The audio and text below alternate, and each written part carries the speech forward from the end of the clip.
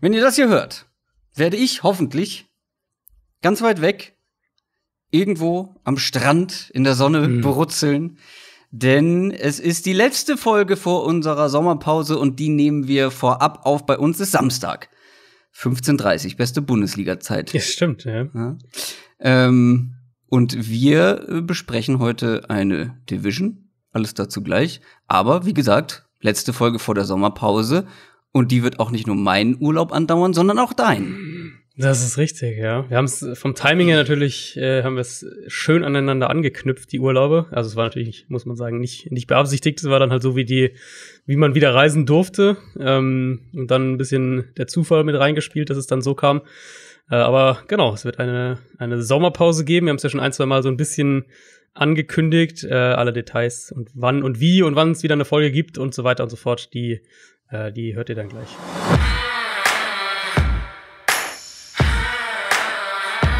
Down, Set, Talk.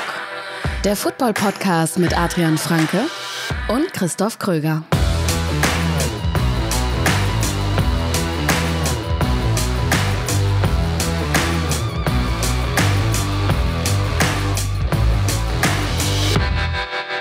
Ihr hört euren Football-Podcast des Vertrauens Downset Talk. Eine neue Folge vom offiziellen NFL-Podcast von The Zone und Spox mit mir, Christoph Kröger und mit Adrian Frank.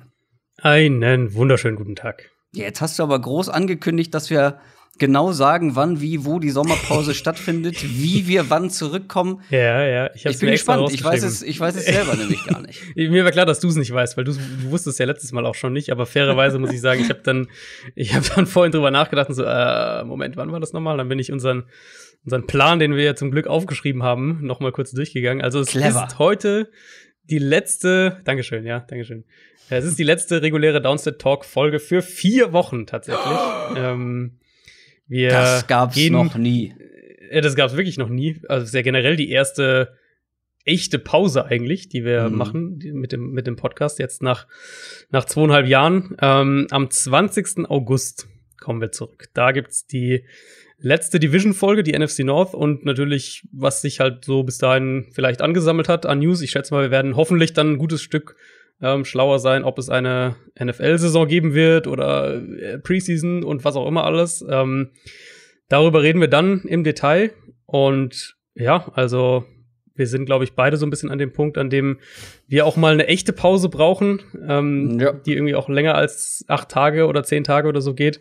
Und deswegen, äh, wie wir schon gerade gesagt haben, für jeden von uns sozusagen zwei Wochen sein. Die Pausen, die Urlaube jeweils schließen nur direkt halt aneinander an. Ich glaube, wir haben zwei Tage zwischendurch, wo wir beide ähm, wieder arbeiten, irgendwie sowas in der Richtung. Und dann bin ich quasi weg. Aber danach geht's dann äh, hoffentlich mit einer mit einer NFL-Saison am Horizont weiter. Ich glaube, wir haben jetzt zweieinhalb Jahre durchgepodcastet. Jede Woche. Mhm. Du warst genau, einmal war kurz im Urlaub. Einmal kurz weg, genau, ja. für eine Folge. Und äh, ja, aber ansonsten. Ja, einmal wieder die, wieder die Akkus aufladen, damit wir frisch fromm äh, in, die, in die neue Saison starten können. Mhm. Ist natürlich jetzt das einzig, einzig ärgerliche ist, ähm, dass wir dann noch eine einzige Division Preview ausstehen haben, die wir ja. dann nach der Sommerpause machen. ja, da merkt man, dass es nicht äh, von langer Hand geplant war sozusagen, sondern dass wir natürlich uns auch an, an die Umstände anpassen mussten. Ja, ich Und, wollte ja, glaub, ja schon lange ja im Urlaub gewesen sein. Genau, genau, ja. dein Urlaub wäre eigentlich schon längst gewesen. Äh, meiner wurde jetzt auch schon mal um einen Tag verschoben, also äh, nochmal, nachdem wir gebucht hatten, auch nochmal verschoben. Also alles nicht, nicht so von langer Hand geplant in dem Sinne, aber wir hatten schon länger im Kopf, dass wir dieses Jahr irgendwann eine Pause machen und jetzt äh, findet sie eben so am Stück sozusagen statt. Genau. Und wir haben uns aber was überlegt, dazu komme ich gleich. Vorher natürlich noch mal der Hinweis, was wir heute machen. Es steht ja schon im Titel, aber wir haben natürlich eine Division Preview. Die AFC North ist dran und die ganz schlauen Füchse unter euch wissen dann natürlich auch, welche Fans sich noch mal vier Wochen auf ihre Division Preview gedulden müssen. Die ja. der Teams der NFC North. Richtig. Ja, genau. Das äh, ist dann leider so, dass das äh, irgendwie Weil wir die treffen. Packers hassen, ganz genau. das kommt dann, ja, klar. Ähm, mhm. Na, es muss halt irgendeine Division treffen und wir haben uns dann auch überlegt, okay, mit welcher, äh, also eigentlich ist es sogar ein bisschen eine Auszeichnung, weil wir haben uns überlegt, ja. mit welcher wollen wir zurückkommen sozusagen. Und hatten jetzt ja, nachdem wir diverse Gäste hatten, hatten wir dann ja gar nicht mehr so eine große Auswahl. Ähm, die NFC North fanden wir irgendwie beide ganz cool, so als, als Comeback-Folge mit Teams, die auf jeden Fall auch kontrovers sind für die kommende Saison und insofern auch wahrscheinlich dann bis dahin vielleicht noch ein bisschen mehr ähm, an Gesprächsstoff liefern. Wir möchten uns natürlich aber vorher noch bei allen neuen Supportern bei, Patri bei Patreon bedanken, ähm, die da jetzt mit dazugekommen sind. Und äh, es gibt was Neues, was ihr bekommt, sozusagen, wenn ihr uns mhm. supportet, in unser Special Team kommt. Es, da gibt es den ex exklusiven Discord-Channel. Da gibt's die Fantasy Football Bundesliga natürlich, wo die Anmeldungen auch weiterhin fleißig steigen. Über 700 Teilnehmer schon mit dabei. Also wenn ihr mitmachen wollt, www.downsettalk.de slash support oder slash fantasy Bundesliga. Aber wie gesagt, da gibt's jetzt noch mehr, denn wir haben uns auch was überlegt, was euch auch so ein bisschen über die vier Wochen Sommerpausen, ja, äh, so als kleine Wiedergutmachung, ähm, was darüber hinweg, hinweg trösten soll. Und zwar ein kleines neues Format, was wir da regelmäßig machen werden. Äh, Bonusfolgen, zwei wöchentlich, und zwar zum Thema College Football. Das College Update.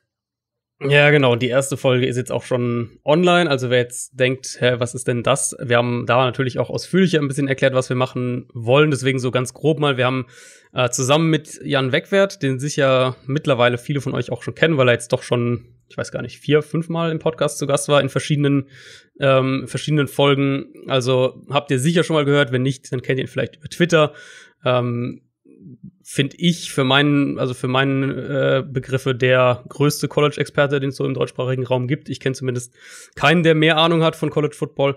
Und mit ihm zusammen werden wir so ein, ähm, alle zwei Wochen so ein College-Update dann wirklich machen, wo es kompakt. Da äh, arbeiten wir dran, dass es kompakt wird. Ähm, wirklich so die, die größten Storylines, die ähm, je nachdem, ob es eine Saison gibt, dann vielleicht über das Highlight-Spiel der Woche reden oder eben über die größten Top-Prospects für den kommenden Draft schon mal so ein bisschen beleuchten. Also wirklich so College-Update, aber auch dann auf eine Art und Weise, die ein bisschen anders sein wird als jetzt hier in der im regulären Podcast, also vielleicht ein bisschen, bisschen einsteigerfreundlicher, bisschen mehr Basic, was College Football selbst angeht, damit wirklich auch Leute, die sich jetzt vielleicht neu dafür interessieren oder neu dazukommen, ähm, dass die da auch einen, einen Zugang da besser noch finden. Ganz genau. Hört gerne mal rein in die erste Folge. Die ist, wie gesagt, mittlerweile schon online. Ähm, und dann gibt's die nächst, nächste irgendwann innerhalb der Sommerpause, der genau. offiziellen. News machen wir heute nicht weil, ist ja klar, also das, was jetzt zwischen heute und Donnerstag, wenn ihr es frühestens hört, passiert, werden wir nicht mit drin haben und äh, wir haben die andere Folge gerade aufgenommen mit den News, die bis dato geschehen sind. Also, das macht nicht viel Sinn, wenn wir hier jetzt über Neuigkeiten sprechen. Deswegen gehen wir direkt rein in die Division Preview. NFL Preview. Und zwar eine Division Preview, auf die ich sehr gespannt bin. Die der AFC North. Das ist nämlich eine potenziell sehr gute und vor allem auch sehr spannende Division. Wir gucken wieder auf alle vier Teams, fangen mit dem schlechtesten Team der vergangenen Saison an. Jeder hat sich auf zwei besonders fokussiert und bei mir waren es zum einen die Cincinnati Bengals, die eine wirklich schlimme Saison hinter sich haben. Zwei und vier, äh, zwei und vierzehn. ähm, jetzt startet ja. eine neue Ära nach dieser verguckten Saison und zwar die Joe Burrow-Ära, den sie mit dem ersten Pick im Draft geholt haben. Der wiederum kommt aus einer überragenden College-Saison mit LSU. Wirklich eine der ja, statistisch besten, die man je von einem mhm. College-Quarterback gesehen hat. Das sind natürlich jetzt ganz andere Umstände, in die er da kommt, über die wir natürlich auch sprechen. Aber für die Bengals bedeutet das natürlich vor allem nach langer Zeit kein Andy Dalton mehr.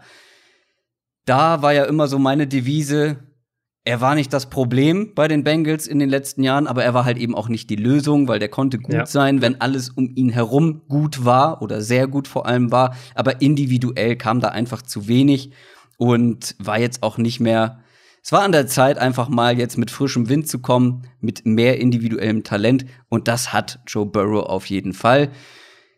Wie gesagt, einer der besten ähm, im College seit langer Zeit gewesen.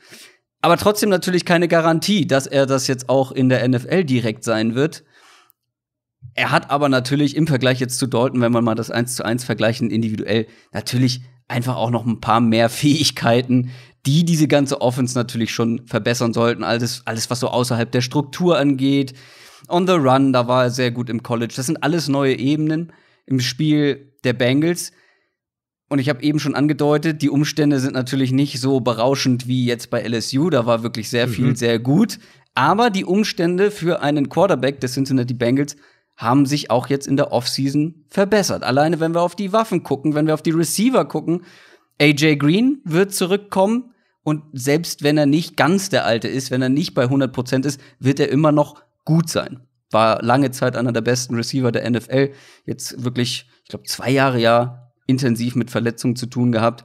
Tyler Boyd, der ihn den Umständen entsprechend gut vertreten hat, würde ich sagen. Ähm, mhm. Auch ein ganz anderer Typ. Und T. Higgins im Draft mit dazugekommen in Runde 2. Auch einer, den wir beide vor allem sehr mochten. Und Joe Mixon. Ja. Ähm, mein Nummer 10 Running Back der Liga, der wahrscheinlich, wenn er in einer besseren Offense spielt, auch noch das Potenzial hat, da zu klettern. Also, wenn wir nur mal auf die, die Skill Positions gucken, auf die Playmaker, auf diese vier vor allem, die ich genannt habe, das ist schon ein gutes Niveau. Ja, der Sprung ist halt enorm. Das muss man ja wirklich sagen. Also letztes Jahr war es dann dadurch, dass ja logischerweise noch kein T. Higgins da war und eben AJ Green nicht gespielt hat, war das ja, ja eine Offense, die halt Tyler Boyd hatte und Tyler Eifert war noch so ein Faktor, aber an sich war es halt Tyler Boyd und dann lange nichts. Das sieht man ja auch an der Art, wie, wie sie die Targets verteilt haben. Also Tyler Boyd mit über 140, kein anderer Spieler mit über 80. Tyler Boyd auch der einzige, der 1000 Yards geknackt hat. Kein anderer hat 600 Yards geknackt. Also da war ja schon die, mhm. das, das Gefälle war ja schon enorm. Und ich meine, ich finde Boyd ist eine super Nummer zwei. Aber er ist halt keine Nummer eins. Das, wenn, wenn er deine Nummer eins sein muss, dann hast du halt offensiv ein Problem. Das ist halt, finde ich, halt mhm. so ein Fall, auch wenn er individuell betrachtet eben immer noch eine gute Saison ähm, gespielt hat. Und das sollte jetzt ganz anders sein. Also Green ist für, ist eine klare Nummer eins. Ähm, Boyd kann wieder so in seine, in seine primär in, in Slot stattfindende Rolle rutschen. Ähm, und T. Higgins kannst du halt wirklich als so eine Nummer zwei ranführen und perspektivisch dann vielleicht nach der kommenden Saison ähm, könnte er dann derjenige sein, der, der AJ Green dann beerbt. Ja.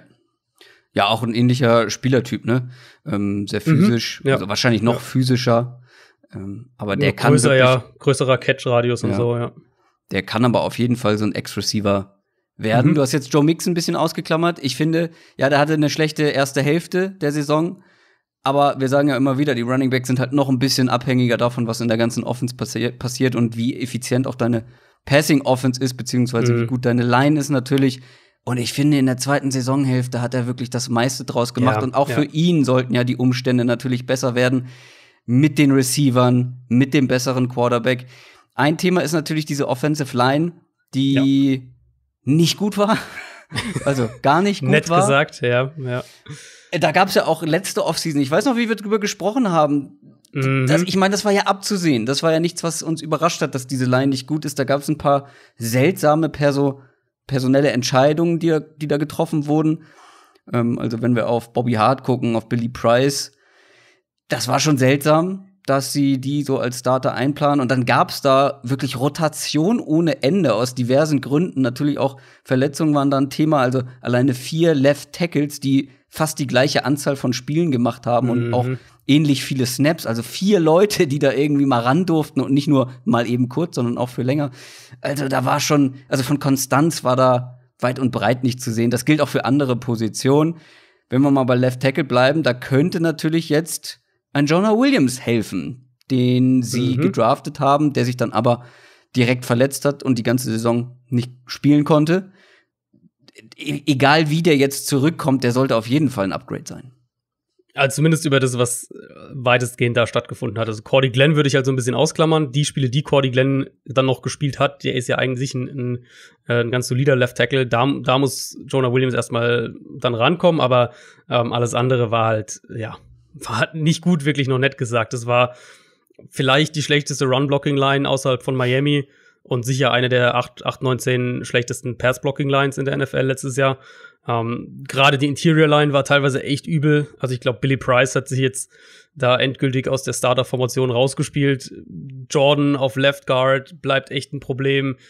Trey Hopkins auf Center ist bestenfalls Durchschnitt und auf Right Guard haben sie jetzt äh, Xavier Suafilo geholt, der die Line jetzt, die Interior Line jetzt irgendwie stabilisieren soll, aber der war halt auch in Dallas jetzt die letzten Jahre Backup O-Liner und ich würde den jetzt auch als so in diese bestenfalls Durchschnitt-Kategorie mhm. irgendwie reinpacken. Deswegen Stabilität hatten sie in, am ehesten noch in den Spielen, die, die Glenn gespielt hat. Bobby Hart auf Right Tackle, das wussten wir auch vorher, dass das eine Problemzone wird und war es dann auch.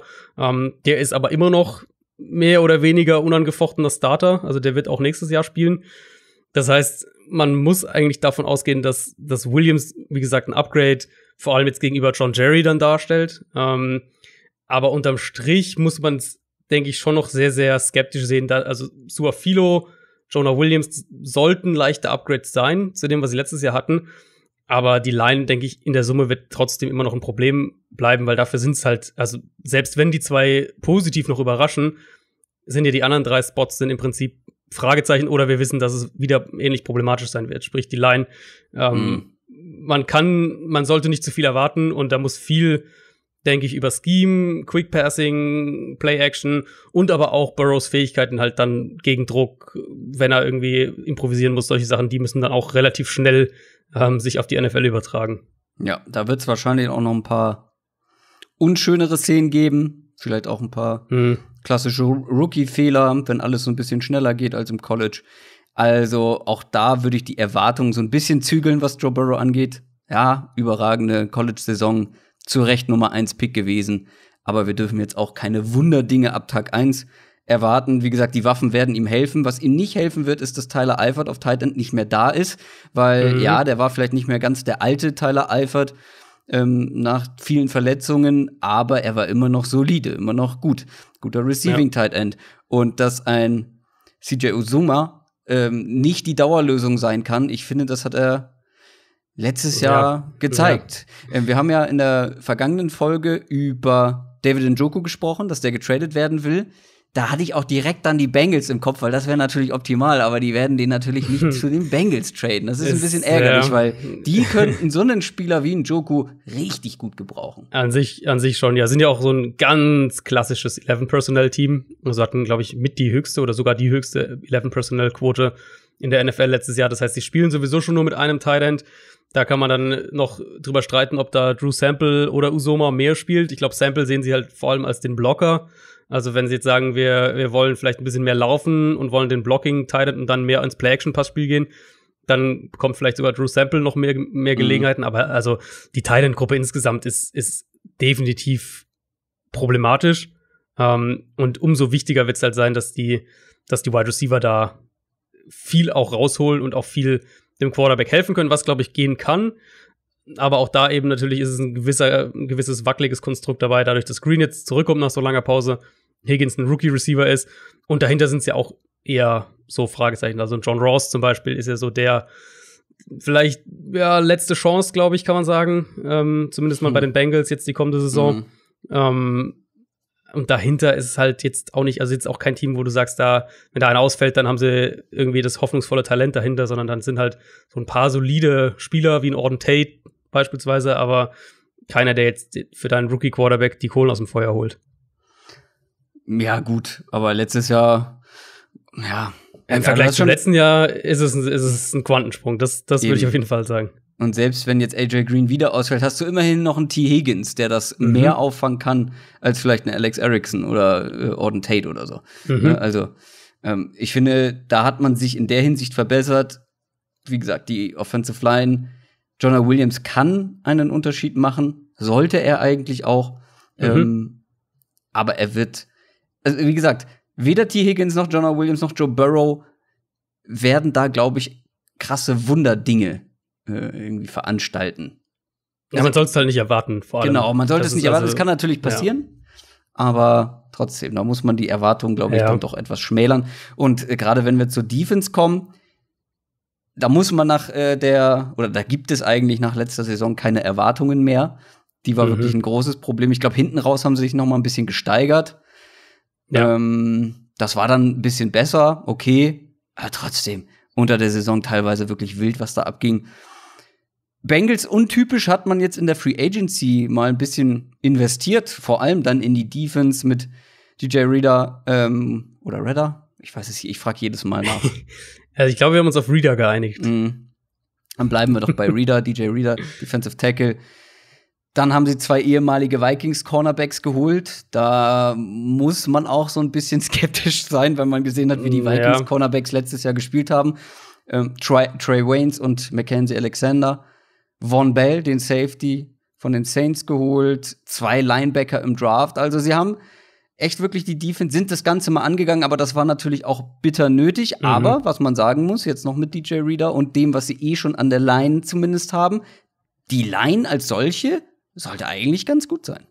Ja, finde ich auch. Also die Line sollte wirklich die so das Rückgrat von dieser Defense sein. Da hast du Gino Atkins sowieso und, und Carlos Dunlap als deine mhm. zwei Fixpunkte. Sam Hubbard, der sich eigentlich auch gesteigert hat, der, ein guter, guter Nummer zwei Edge oder Nummer drei dann insgesamt in der Line ist. Und jetzt eben Reader da noch dazu zu packen, das, also gerade wenn wir auch bei, im Zusammenhang mit den Texans häufiger drüber gesprochen haben, wie der sich auch als Pass Rusher gesteigert hat letztes Jahr, das sollte eigentlich eine Line sein, die ohne Blitzing Druck kreieren kann, ähm, die aber auch eben den Run besser stoppen kann. Das war ja auch so ein Thema letztes Jahr. Also die waren ja nicht nur schlecht gegen den Pass, sondern die waren ja echt auch, echt auch mega anfällig gegen den Run dann auf diese ganze Saison äh, betrachtet. Und das hing natürlich auch mit den Linebackern dann noch dazu zusammen. Das war wirklich ein richtiges Mess letztes Jahr. Also wenn man sich die Bengals Linebacker anschaut, hm. Nick Vigil, ja, Jermaine Pratt, Preston Brown, ja, auch schon das Jahr davor eigentlich. Aber letztes Jahr war es so gefühlt noch mal eklatanter. Ähm, also ich, German, ich würde kleiner sagen, Fun Fact an der Stelle, German äh, Pratt, den, den Rookie aus dem letzten Jahr, mhm. der war der einzige, der, oh, kriege ich das noch zusammen, der 8% oder mehr der Snaps gespielt hat auf dieser Position. Also irgendwie, hm. ich muss ich noch mal genauer nachschauen, aber die Grundaussage war, ich kriege die Zahlen nicht gerade zusammen, die Grundaussage war, aber da wurde mal so richtig rotiert und Jermaine Pratt, der Rookie, war der, der irgendwie noch am meisten da gespielt hat. Also ja, ich glaube, am meisten gespielt müsste Nick Vigil ja, sein. Ich gucke ich guck das noch mal nach. Vielleicht finde ich das noch. Ich habe es mir leider ähm, nicht notiert. Also es war in der Summe auf jeden Fall, würde ich sagen, was wirklich eine der zwei, drei schlechtesten Linebacker-Gruppen, vielleicht mit den Raiders zusammen ähm, in der NFL letztes Jahr. Und jetzt haben sie da zwar nicht mega investiert, also du hast ja gerade gesagt, Secondary haben sie was reingesteckt, ähm, Defensive Line haben sie was reingesteckt, aber sie haben Josh Bynes geholt, der letztes Jahr bei den, bei den Ravens war und eigentlich so ein so ein rundum solider Linebacker ist. Und sie haben halt eben zwei gedraftet mit, mhm. äh, mit Logan Wilson in der dritten Runde, so ein explosiver, physischer, eher so ein bisschen Oldschool-Linebacker, der dir auf jeden Fall gegen den Run helfen wird. Ähm, Coverage dann so ein bisschen limitiert ist. Und dann so das Gegenstück dazu mit Akeem Davis Gaither, den, den ich ja auch sehr mochte vor dem Draft. Deutlich weniger physisch, aber halt brutal agil, super in Coverage. Bei dem, das Einzige, was man bei ihm halt sagen muss, weswegen er, denke ich, auch bis in die vierte Runde gefallen ist, ist, dass dass runter dem Draft Probleme mit den Knien dann rauskamen. Das muss man halt so ein bisschen beobachten, ob er dann wirklich eine volle NFL-Saison auch spielen kann. Aber sie haben zumindest mal sich, glaube ich, also allein die drei oder sagen wir mal einer der Rookies und Josh Bynes werden, denke ich, besser sein als, als alles, was sie letztes Jahr auf der Position hatten.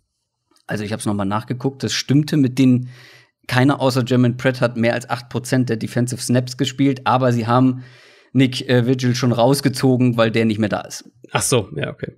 Also da war nur German Pratt unterwegs. Den mochte ich ja vor dem Draft eigentlich relativ mhm. gerne, so als Cover-Linebacker. Aber das ist jetzt auch kein kompletter Linebacker, der dir irgendwie das ganze Linebacker-Core da irgendwie äh, retten kann. Aber du hast es angesprochen. Spannende Linebacker gedraftet. Lass uns noch über die Secondary sprechen. Mhm. Die wird vielleicht nicht super sein, aber sie sollte eigentlich besser sein als letztes Jahr. Das war nicht so doll. Äh, William Jackson war eine mega Enttäuschung, nachdem der ja mhm. eine super Saison gespielt hat eigentlich ja, vorher. Ja. Dann letztes Jahr so gar nicht. Alles um ihn herum auch nicht. Deswegen hat man da auch investiert, investiert in diese beiden Vikings Cornerbacks. Das sind zwei, die ihren Draft-Pick, ihren hohen Draft-Pick, der eine ist ein Erstrunden-Pick mit Trey Waynes, der andere ein Zweitrunden-Pick Mackenzie Alexander, konnten sie beide nicht so richtig rechtfertigen bei den Vikings. Jetzt vielleicht so ein Neuanfang bei den Bengals. Selbst wenn sie halt nicht dieses Top-Niveau erreichen, was ihre Draft-Picks oder die Höhe ihrer Draft-Picks versprochen mhm. hätte, sollten sie trotzdem Upgrade in dieser Defense sein. Das ist genau auch mein Gedankengang. Also letztes Jahr, was sie hatten, du hast Jackson schon angesprochen, BW Webb war die ganze Zeit eigentlich echt wackelig. Ähm, Darkis Denard war wahrscheinlich noch so der Beste in der Gruppe, aber jetzt auch der eher so Kategorie oberer Durchschnitt als irgendwie signifikant drüber. Das haben sie ja komplett quasi ausgetauscht, außer, außer William Jackson. Also haben sie ja wirklich diverse Cornerbacks dann gehen lassen oder abgegeben und sich äh, auch mehrere halt geholt. Und mit Waynes und Alexander, ich meine, klar, du hast natürlich recht. Die Vikings letztes Jahr haben wir auch oft genug thematisiert, hatten Cornerback-Probleme, aber für mich war halt in dem konkreten, der konkreten Situation war Xavier Rhodes eben so der, der mit Abstand größte Katalysator für die Problematik. Was jetzt nicht heißt, dass Waynes und Alexander irgendwie super Top-Cornerback sind, aber ich glaube halt in den Rollen, wenn du den als Nummer zwei dann packst hinter William Jackson und eben Mackenzie Alexander in den Slot, dann ist es, glaube ich, eigentlich keine schlechte Gruppe. Und es sollte eigentlich eine deutlich bessere Gruppe sein als, also ähnlich wie die Linebacker. Du bist jetzt nicht auf Elite-Level irgendwie geklettert, aber du solltest deutlich stärker sein als letztes ja. Jahr. Ja. Das gilt eigentlich für die meisten Bereiche in dieser Defense, aber viel schlechter geht's ja auch nicht. Safety ist, glaube ich, okay. Mhm. Mit ja. Bates, Von Bell, Sean Williams. Also, meine Analyse der Bengals ist relativ simpel. Die Offense wird, glaube ich, besser sein. Die Defense wird, glaube ich, besser sein. Aber das Ding ist halt, wie ich gerade schon gesagt habe, viel schlechter als zwei Siege kannst du in der NFL kaum sein. Deswegen, äh, man startet von weit unten und wird, glaube ich, ein bisschen besser. Aber das heißt jetzt noch nicht, dass ich denke, dass die Bengals direkt um die Playoffs mitspielen. Wäre ja. natürlich schön, wenn irgendwie Joe Burrow mit den Waffen und so direkt einschlägt. Jonah Williams ist irgendwie der Unterschiedsspieler in der Line, keine Ahnung. Aber ich glaube, dass halt sowohl Offense als auch Defense beides noch nicht über Durchschnitt kommt, NFL-Durchschnitt. Wenn überhaupt die Offense und dann die Defense vielleicht dann noch in, in manchen Bereichen wackelig. Und gerade in dieser Division dieses Jahr, das macht es natürlich nicht besser. Ne? Also mhm. das wird, glaube ich, ganz schön hart mit den anderen drei Teams, zu denen wir ja gleich noch kommen. Und ein Punkt, den wir jetzt noch gar nicht angesprochen haben, für mich wirklich auf dem Prüfstand ist der ganze Coaching-Staff. Das war ja wirklich eine wilde Zusammenstellung da zu Beginn der ja, vergangenen ja. Saison, haben ewig keinen auch ewig keinen Defensive Coordinator genau, gefunden. Ja. Klar, natürlich schmeißt du so ein Coaching-Staff nicht nach einer verkorksten Saison raus, gerade bei dem Spielermaterial, was die da zur Verfügung hatten. Da war auch wirklich dann so als Rookie-Head-Coach nicht mehr drin.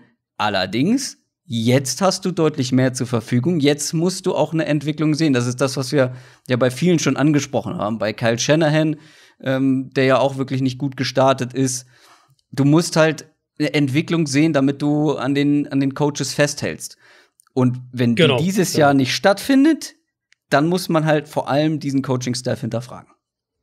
Ja, also ich glaube, gerade bei den Bengals reden wir halt davon, dass du wahrscheinlich Zeit bekommen wirst, weil die Bengals Dinge ein bisschen konservativer angehen, auch was, was so Personal und Coaching, Staff und so weiter äh, betrifft. Also die werden schon noch ein bisschen Zeit bekommen, aber klar, es muss eine ja, Entwicklung, ähm, genau, es muss eine Entwicklung zu sehen sein. Mhm. Und vor allem, was ich halt wirklich sagen muss, also wenn mich jetzt Leute fragen, irgendwie, ja, ist jetzt Zach Taylor irgendwie ein guter Headcoach oder nicht und waren es nur die Umstände? Ich finde halt nach dieser Saison kann man kaum genau. ein richtiges Fazit irgendwie ziehen. Ja. Also ich, ich kann dir noch nicht mal so richtig sagen, dafür steht jetzt Zach Taylor, also das oder das wollte er umsetzen. Ich meine, klar, mhm. man kann irgendwie mal so ein bisschen drauf zurückkommen, woher er selber kam. Hier Sean McVay, Coaching Tree, so die Richtung. Aber was jetzt wirklich seine Idee ist, das können wir eigentlich noch gar nicht sagen. Mhm. Und das wird natürlich die kommende Saison muss muss da auch in der Richtung klar machen, für was er stehen will und und was wie das funktionieren soll. Ja, und dann ähm, geht es auch, geht's auch darum, Erwartungen eben richtig einzu, einzustellen, was, glaube ich, für die Bengals halt sein wird. Also ich würde jetzt mal sagen, wenn man noch die Division dazu bedenkt, also alles über fünf Siege würde ich ehrlicherweise als Erfolg verbuchen für die Bengals-Saison. Also fünf das, Siege ist, glaube ich, das, was du, was du sehen willst, so die ja. Range ungefähr. Aber wenn die sechs Spiele oder sieben Spiele gewinnen, dann würde ich wahrscheinlich ja. von einer erfolgreichen Bengals-Saison sprechen. Ja, absolut. Das Ding ist nur, ja, die Bengals sind halt konservativ und äh, wagen auch nicht so viel. Man hat es ja auch wieder im Draft gesehen, da ne? einfach immer den ersten mhm. Pick genommen und danke bitte, ciao. ähm, nirgends getradet oder irgendwie sowas. Also wirklich einfach ihren Stiefel runtergespielt. Das Problem ist ja eben, wenn du jetzt wenig Weiterentwicklung siehst, auch von Coaching-Seite her, und du trotzdem dann lange festhältst. Ich meine, Sie haben ja vorher auch lange an dem Coach festgehalten, obwohl es keine mhm. Entwicklung mehr gab. Und es musste wirklich stimmt, richtig ja. schlecht werden, bevor man sich, bevor man sich trennt. Und das ist natürlich dann auch so eine Gefahr. Natürlich mag ich es immer, wenn ein neuer Coach vor allem Zeit bekommt, wenn man ihm das Vertrauen schenkt. Das hilft, aber du musst halt spielerisch auch eine Entwicklung irgendwie sehen. Und deswegen sage ich, wenn wir die genau. bei den Bengals dieses Jahr nur bedingt oder gar nicht sehen, dann muss man da, muss man da mal äh, gucken, ob man da an irgendwelchen Schrauben drehen muss. Ja, das ist auf jeden Fall fair. Kommen wir zu den Cleveland Browns. Die waren letzte Saison eine große Enttäuschung. 6 und 10, weil wir dachten alle, sie holen den Super Bowl. Haben sie nicht gemacht, ganz und gar nicht. Jetzt gab es wieder einen Regimewechsel, zumindest was die Coaches angeht. Kevin Stefanski ist neuer Head Coach.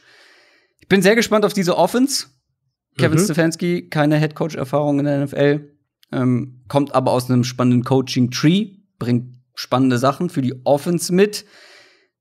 Und die Waffen, also da sprechen wir sowohl von der Offense als auch von der Defense, die Waffen sind ja nach wie vor da. Er hat sie ja. zur Verfügung. Und wenn wir mal auf die individuelle Qualität gucken, auch wenn das letztes Jahr alles nicht so zusammen funktioniert hat, ein Jarvis Landry oder auch ein Odell Beckham Jr. sind ja nicht auf einmal schlechte Spieler. ich meine, ja. gerade ein OBJ hat vorher auch nicht in den besten Umständen gespielt bei den Giants und war trotzdem mhm. eine absolute Maschine. Und dann noch eben Kareem Hunt und Nick Chubb im Backfield mit dazu. Also da sind so viele Waffen, das ist teilweise schon absurd, welches Potenzial einfach nach wie vor in dieser Offense steckt. Genau, das, also das steht schon mal außer Frage. Äh, kommen wir gleich noch zu den Details, wo sie ja auch sogar noch besser geworden sind. Mhm.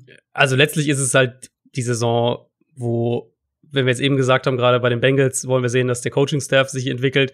Die Browns für mich steht irgendwie alles unter dem, unter dem, unter der großen Überschrift Baker Mayfield. Also du, du bist jetzt im dritten Jahr von Baker Mayfield, der eine wirklich starke Rookie-Saison hatte, richtig, richtig starke Rookie-Saison, wo er natürlich dann auch Erwartungen geweckt hat irgendwo. Und dann war letztes Jahr halt ein kompletter Flop. Und jetzt wäre es halt ganz wichtig zu sehen, dass dieser, dieser Flop, dieses Durchhängerjahr, dass es eben durch den Coaching-Staff kam, durch die Umstände, ähm, schlechte, schlechte Vorbereitung, was auch immer, schlechtes Play-Calling und halt nicht, dass wir einfach bei Mayfield Probleme sehen, die halt nicht weggehen. Also ich finde, auf die, auf die Saison betrachtet insgesamt hat er eigentlich gar nicht so ein katastrophales Jahr gehabt letztes Jahr. Das Hauptproblem ist halt, dass er in einigen Bereichen alte Probleme wieder gezeigt hat. Allen voran, was, was sein Pocket-Verhalten angeht. Also er hat eine saubere Pocket viel zu häufig ähm, zu schnell verlassen, generell auch nicht gut aus der sauberen Pocket gespielt, hat sich dann auch damit selbst oft und auch dann die Offense insgesamt aus dem Rhythmus gebracht. Und dann hat eben teilweise im Zusammenhang damit, teilweise aber auch unabhängig davon, hat eine seiner besten Qualitäten gelitten, nämlich die Accuracy. Also er hat den Ball wirklich oft von einer unsauberen Plattform geworfen, in die er sich halt auch selbst oft unnötig gebracht hat. Ähm, und insgesamt war seine Accuracy einfach viel inkonstanter, als wir es von ihm gewohnt sind. Gerade ähm, gerade im Kurzpassspiel war sie einfach oft nicht da. Und selbst wenn er irgendwie offene Receiver angeworfen hat, war immer wieder so ein bisschen mal klar, ein bisschen daneben, ein bisschen zu weit nach vorne, zu weit nach hinten. Ähm, Im vertikalen Passspiel hat er vor allem Odell Beckham häufig nicht die Chance gegeben, den Ball zu fangen, wo er frei gewesen wäre oder wo er zumindest eine Möglichkeit gehabt hätte. Also Mayfield war nicht gut und, und vor allem sein, sein Pocket-Verhalten muss auch irgendwo ein bisschen Anlass zur Sorge geben. Aber der Kontext ist natürlich wichtig. Und wenn wir von der Browns Offense reden, ist mir halt mit am, am stärksten irgendwie in Erinnerung geblieben, was Jarvis Landry im Februar dann gesagt hat, nämlich, dass halt so die ersten 15 bis 20 Plays von einem Spiel immer gescriptet waren. Das legen Coaches ja dann den Rahmen sozusagen schon vor dem Spiel fest, anhand von, von gegnerischen Tendenzen, bestimmten Matchups in dem Spiel und so weiter. Und dass er aber oft nicht wusste, was der Plan nach diesen gescripteten Plays sein würde. Und ich finde so, also Landry hat das gesagt, und ich finde, so sah die Offense häufig auch aus. Also, ja. wenn man sich das einfach anschaut, hat man oft den Eindruck, dass da die Playcalls überhaupt nicht aufeinander aufbauen, dass das ohne irgendwie Rhythmus, ohne ohne einen größeren Plan abläuft und irgendwie einfach unkoordiniert ist. Und das und äh, hat Mayfield natürlich auch nicht geholfen. Und es wirkte ja auch insgesamt nicht perfekt aufeinander abgestimmt. Das unterschätzen genau. viele bei, beim Football auch immer, wie getimed alles sein muss. Da ist eine genau. Route genau, genau auf den Dropback des Quarterbacks getimed. Da muss alles punktgenau sitzen, weil du bekommst halt in der NFL nur kleine Chancen, kurze Chancen und dann muss mhm. alles sitzen. Und es wirkte ganz oft so, als wäre das einfach nicht perfekt aufeinander abgestimmt alles. Ich meine, da haben genau. Handoffs nicht funktioniert. Und ja, das kannst ja. du ja nun wirklich, ja, mal ist das ein individueller Fehler. Ja, da waren Spieler unaufmerksam oder unkonzentriert, keine Ahnung. Mhm. Aber so häufig, wie es bei den Browns der Fall war, also das kannst du mir nicht auf, auf die Spieler dann alleine schieben. Ja, auch bei so, ja. ähm, so kleinen, na, wie heißen sie? Ähm, Jet Sweeps und solche Sachen. Ja, so Jet Sweeps. Mhm. Das Timing stimmt da halt ganz oft einfach nicht. Und das ist dann für mich auch eine Frage, was machen die oder was haben die denn im Training gemacht? Weil das sind ja genau die Sachen, gerade so ja. Jet Sweeps, ja. Trickplays und so weiter, die musst du im Schlaf können als Spieler. Da musst du das Timing in- und auswendig können, damit das dann genau. im Spiel auch blind funktioniert. Und genau das wirkte eben, das war nicht der Fall. Und es wirkte halt eben so, als hätte man da im Training auf die falschen Sachen geachtet oder halt auch zu wenig aufs Detail. Ja, ich, ich weiß auch gar nicht genau, woher das dann irgendwie kam, weil wir hatten ja wirklich diese Situation mit Freddy Kitchens, wo wir eigentlich alle gesagt haben, der hat diese Offense in, in, in Mayfields Rookie-Saison 2018 hat er die Offense im Prinzip während der Saison auf links gedreht und halt perfekt an Mayfield angepasst. Und so ein bisschen finde ich, wenn man es jetzt rückblickend betrachtet, hat man so ein bisschen den Eindruck, als wollte er dann letztes Jahr irgendwie zu viel machen. So, weißt du, was ich meine? Also er hat dann irgendwie gedacht, ah, jetzt muss ich hier noch dieses und jenes da und, und mhm. äh, wollte irgendwie dann als Head Coach, wollte er dann irgendwie weiß, besonders fancy sein oder halt besonders besondere Sachen irgendwie noch einbauen oder hat sich selbst irgendwie so ein bisschen äh, zu, zu sehr zu sehr nachgedacht und dann die Sachen irgendwie falsch entschieden, weil eben ganz viel von dem, was ja vor zwei Jahren funktioniert hat, war ja halt einfach nicht mehr da in der Offense. Und das ist schwer zu erklären ehrlicherweise.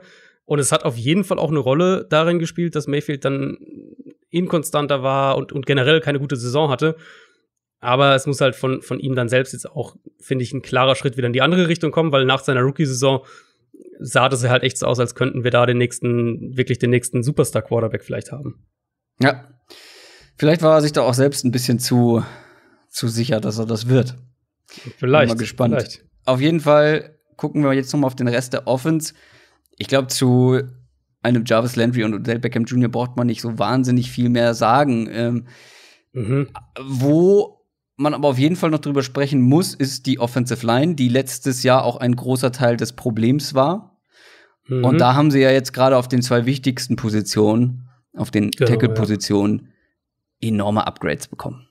Ja, also es geht ja irgendwo alles Hand in Hand. Ähm, wenn man schaut, wie sie dann spielen wollen unter Stefanski, vermutlich, was wir, was wir denken, wie sie spielen wollen, und wo sie sich verstärkt haben und wie sie sich verstärkt haben, ist es ja irgendwie alles Hand in Hand. Also du hast die Receiver ja gerade angesprochen da haben wir jetzt dieses Duo und dahinter eigentlich nicht viel, je nachdem, was man so von einem von einem Donovan Peoples Jones hält, aber sie haben halt letztes Jahr wollten sie ja auch wahnsinnig viel über die Receiver dann machen. Das war ja auch eine so eine Umstellung unter Kitchens, die er selber im Vergleich zu 2018 durchgeführt hat, dass sie ganz viel über die Receiver machen wollten. Auch zum Beispiel in der Red Zone hat Mayfield unheimlich viel zu den, zu den Wide Receivern geworfen. Mhm. Und ich glaube, das wird sich halt deutlich verändern eben mit, mit Tight Ends, mit Running Backs, Fullbacks, die, die dann auch ähm, als Matchup-Waffen eingesetzt werden. Können wir gleich mal noch im Detail dazu sprechen. Und die Offensive Line passt halt auch perfekt dazu. Also, was sie eben, was sie gemacht haben und wen sie auch geholt haben. Letztes Jahr war die Line, glaube ich, ein bisschen besser, als sie in der Öffentlichkeit dann gesehen wurde. Eben dadurch, dass Mayfield sie häufig auch schlechter hat aussehen lassen, als sie eigentlich war. Ähm, wenn man die in die Advanced Stats schaut, dann unterstützen die das auch. Also Football Outsiders hat sie auf Platz 18 in Pass Protection, PFF hat sie in Pass Blocking Grade auf Platz 16 die Browns, also so die Line war jetzt nicht gut, aber sie, wenn man es im Liga-Vergleich sieht und, mhm. und sieht, was andere Quarterbacks, womit die arbeiten mussten, war es jetzt auch keine, keine Katastrophe. Was man andersrum eben auch sagen muss, die Tackle-Situation war halt nicht gut. Und das sind halt die zwei, erstmal die zwei wichtigsten Spieler, äh, damit die Offensive Line insgesamt gut spielt. Greg Robinson, vor allem Chris Hubbard, die waren deutlich wackeliger als die Interior Line. Und gerade eben Robinson wäre ja mit seiner mangelnden Agilität und so Beweglichkeit wäre der, wäre der gar kein Fit für diese Outside Zone Offense gewesen. Jetzt haben sie sich Jack Conklin geholt, einer der besten jungen Right Tackle in der NFL, der ein perfekter Scheme Fit ist, weil er was ähnliches auch in Tennessee schon gespielt hat. Und Jedrick Wills haben wir ja wirklich jetzt auch schon ausführlich oft genug besprochen, war mein Nummer 1 Tackle im Draft und ja, die einzige Frage eigentlich bei ihm ist wirklich für mich, wie schnell er von der rechten auf die linke Seite sich umstellen kann, weil er wird halt Left Tackle spielen in Cleveland, aber ansonsten sehe ich da ein riesiges Upgrade auf dem Papier, was die Tackle-Situation angeht. Und das wird natürlich dann auch den Running Backs helfen. Ich bin froh, dass mhm. du noch mal über das Backfield sprechen willst. Ähm, dann kann ich vorher noch über die die H-Backs sprechen, mhm. weil, wenn du über den Fullback sprechen möchtest, gerne. Aber du hast ja tatsächlich, habe ich bei Twitter gesehen, Nick Chubb ist dein Favorit für den Rushing Yards Title mhm. diese Saison. Ja. Ähm, ich habe mich jetzt noch nicht festgelegt, wen ich da nehmen würde, aber Nick Chubb würde ich tatsächlich nicht nehmen. Ich glaube, dafür wird Kareem Hunt zu viel das letztendlich ist halt Frage, ja. in, in der großen Masse eingebunden. Sie werden Kareem Hunt anders nutzen, vor allem dann ja auch bei Third Downs, nehme ich an, weil letztes Jahr mhm. war es so, Nick Chubb hat eine komplette Saison gespielt, Kareem Hunt die halbe und hatte genauso viele Targets wie Nick Chubb. ja, also ich, ich glaube, sie werden den sehr so als Pass-Catching-Back ähm, einsetzen und Nick Chubb wird halt den Running-Stuff vor allem machen. Genau. Und ich glaube auch, dass Nick Chubb wieder eine sehr gute Saison spielen wird, weil er individuell ja auch in der Lage ist dazu und dann natürlich mit dem Ansatz von Kevin Stefanski, von dem wir jetzt mal ausgehen, wird ihm natürlich helfen. Sie werden viel laufen. Nick Chubb wird auch viel laufen. Aber ich glaube, Kareem Hunt wird da auch einige, einige Snaps bekommen und auch einige Carries. Und ich glaube, das reicht dann am Ende vielleicht in der, in der ganzen Masse für diesen Total Yards Champion ähm, Titel irgendwie nicht. Könnte ich mir vorstellen. Kann, also kommt natürlich auch mal drauf an, was man sonst so in der NFL passiert. Also man jetzt die letzten Jahre oder der Trend in der NFL geht ja schon so ein bisschen weg von dem Single Runner im Backfield, der irgendwie alles kriegt. So ein paar gibt's noch, aber ähm, da muss man ja auch immer schauen, wie die Situation sich verändert. Also ob jetzt ein Derrick Henry noch mal in dem Maße produziert wie letztes Jahr, ob, inwieweit Ezekiel Elliott noch mal 300 Carries kriegt, was die gute Giants mit Saquon Barkley, das ist vielleicht sogar noch der, der auf dem man ja, am ehesten dann eher so äh, meine Tendenz. Könnte. Oder Josh Jacobs genau. vielleicht sogar. Oder Jacobs könnte auch sein, ja. Also die, die zwei wären so vielleicht die Favoriten ansonsten. Aber ich sehe halt Chubb einfach als so einen perfekten Runner für dieses Scheme. Und klar, du hast recht, mit Hand haben sie einen ernsthaften Konkurrenten. Ich habe auch die, die Targets mir nochmal angeschaut vom äh, im Passspiel, um die zu vergleichen mit äh, wie sie die zwei eingesetzt haben. Also als, ja, als Chubb alleine, genau, als Chubb alleine da war, als Hand noch gesperrt war, hat er 3,75 Targets im Schnitt pro Spiel bekommen, also über die ersten acht Spiele und dann über die acht Spiele danach, als Hunt wieder da war, ist es auf 1,8 runtergegangen, mhm. also nicht mal die Hälfte. Das heißt, da ist schon ein klarer, ein klarer Unterschied zu erkennen. Ähm, und so wird sich das, denke ich, auch fortsetzen. Also vielleicht, aber das würde ich auch nicht ausschließen, sehen wir auch einfach dann mehr Snaps mit den beiden zusammen auf dem Feld. Absolut, absolut. Das kann auch sein, aber du wolltest ja über den Fullback noch ja, über den Fullback und den Fullback willst du noch gerne einbauen. Nee, du hast ähm, gesagt, äh, du willst noch mal im Detail über den Fullback sprechen. Ja, ja, nee, genau, also über die über die Matchup-Gruppen einfach, weil ich glaube, das ist ein wichtiger Punkt für die Stefanski Offense und es ist halt auch ein Punkt für für Mayfield und für das, was sie insgesamt machen wollen offensiv. Und da ist für mich so war der erste Schritt eben noch mal zu schauen, was Minnesota letztes Jahr gemacht hat unter Stefanski die Vikings waren das einzige Team, das weniger als 40 Prozent von seinen offensiven Snaps in 11 Personnel, also mit den drei Receivern, ein Running Back, ein Tight End gespielt hat. Äh, Minnesota war nur, mal, nur bei 25 Prozent von seinen Snaps, also wirklich nur ein Viertel der eigenen Snaps. Stattdessen viel 12 Personnel mit den zwei Tight Ends, 21 Personnel eben mit, mit äh, Running Back, Fullback. Das war so die Baseline in, oder die Basis in der Offense und der, die Idee dahinter ist natürlich eine Offense, die eben Matchups mit Titans und mehreren Runningbacks auf dem Feld kreieren will, was für den Quarterback auch leichtere Reads äh, kreieren soll. Die, so haben die Browns ihren Kader jetzt auch umgebaut. Eben mit Austin Hooper, den sie geholt haben, mit Harrison mhm. Bryant, den sie in der vierten Runde gedraftet haben, mit auch dem Fullback natürlich, ähm, Andy Janovich, den sie per Trade aus Denver geholt haben. Ähm, ich glaube, dass das ein Team sein kann, was wirklich stilistisch und sehr an die Vikings erinnert, weil auch die Wide Receiver ja. mit, mit Landry und Beckham wenn man die so ein bisschen mit Stephon Diggs und Adam Thielen vergleicht, beide auch können flexibel hin und her geschoben werden, können im Slot spielen, können Outside spielen. Also ich glaube halt, dass Cleveland nicht nur einen deutlich besseren Plan haben wird, sondern man sieht jetzt auch schon, wie sie ihre Offense für diesen Plan umgebaut haben. Ja. Wie gesagt, sehr gespannt auf diese Offense. Kommen wir mal zur Defense. Und da ist es ja ähnlich. Einfach so wahnsinnig mhm, viel Talent ja. vorhanden.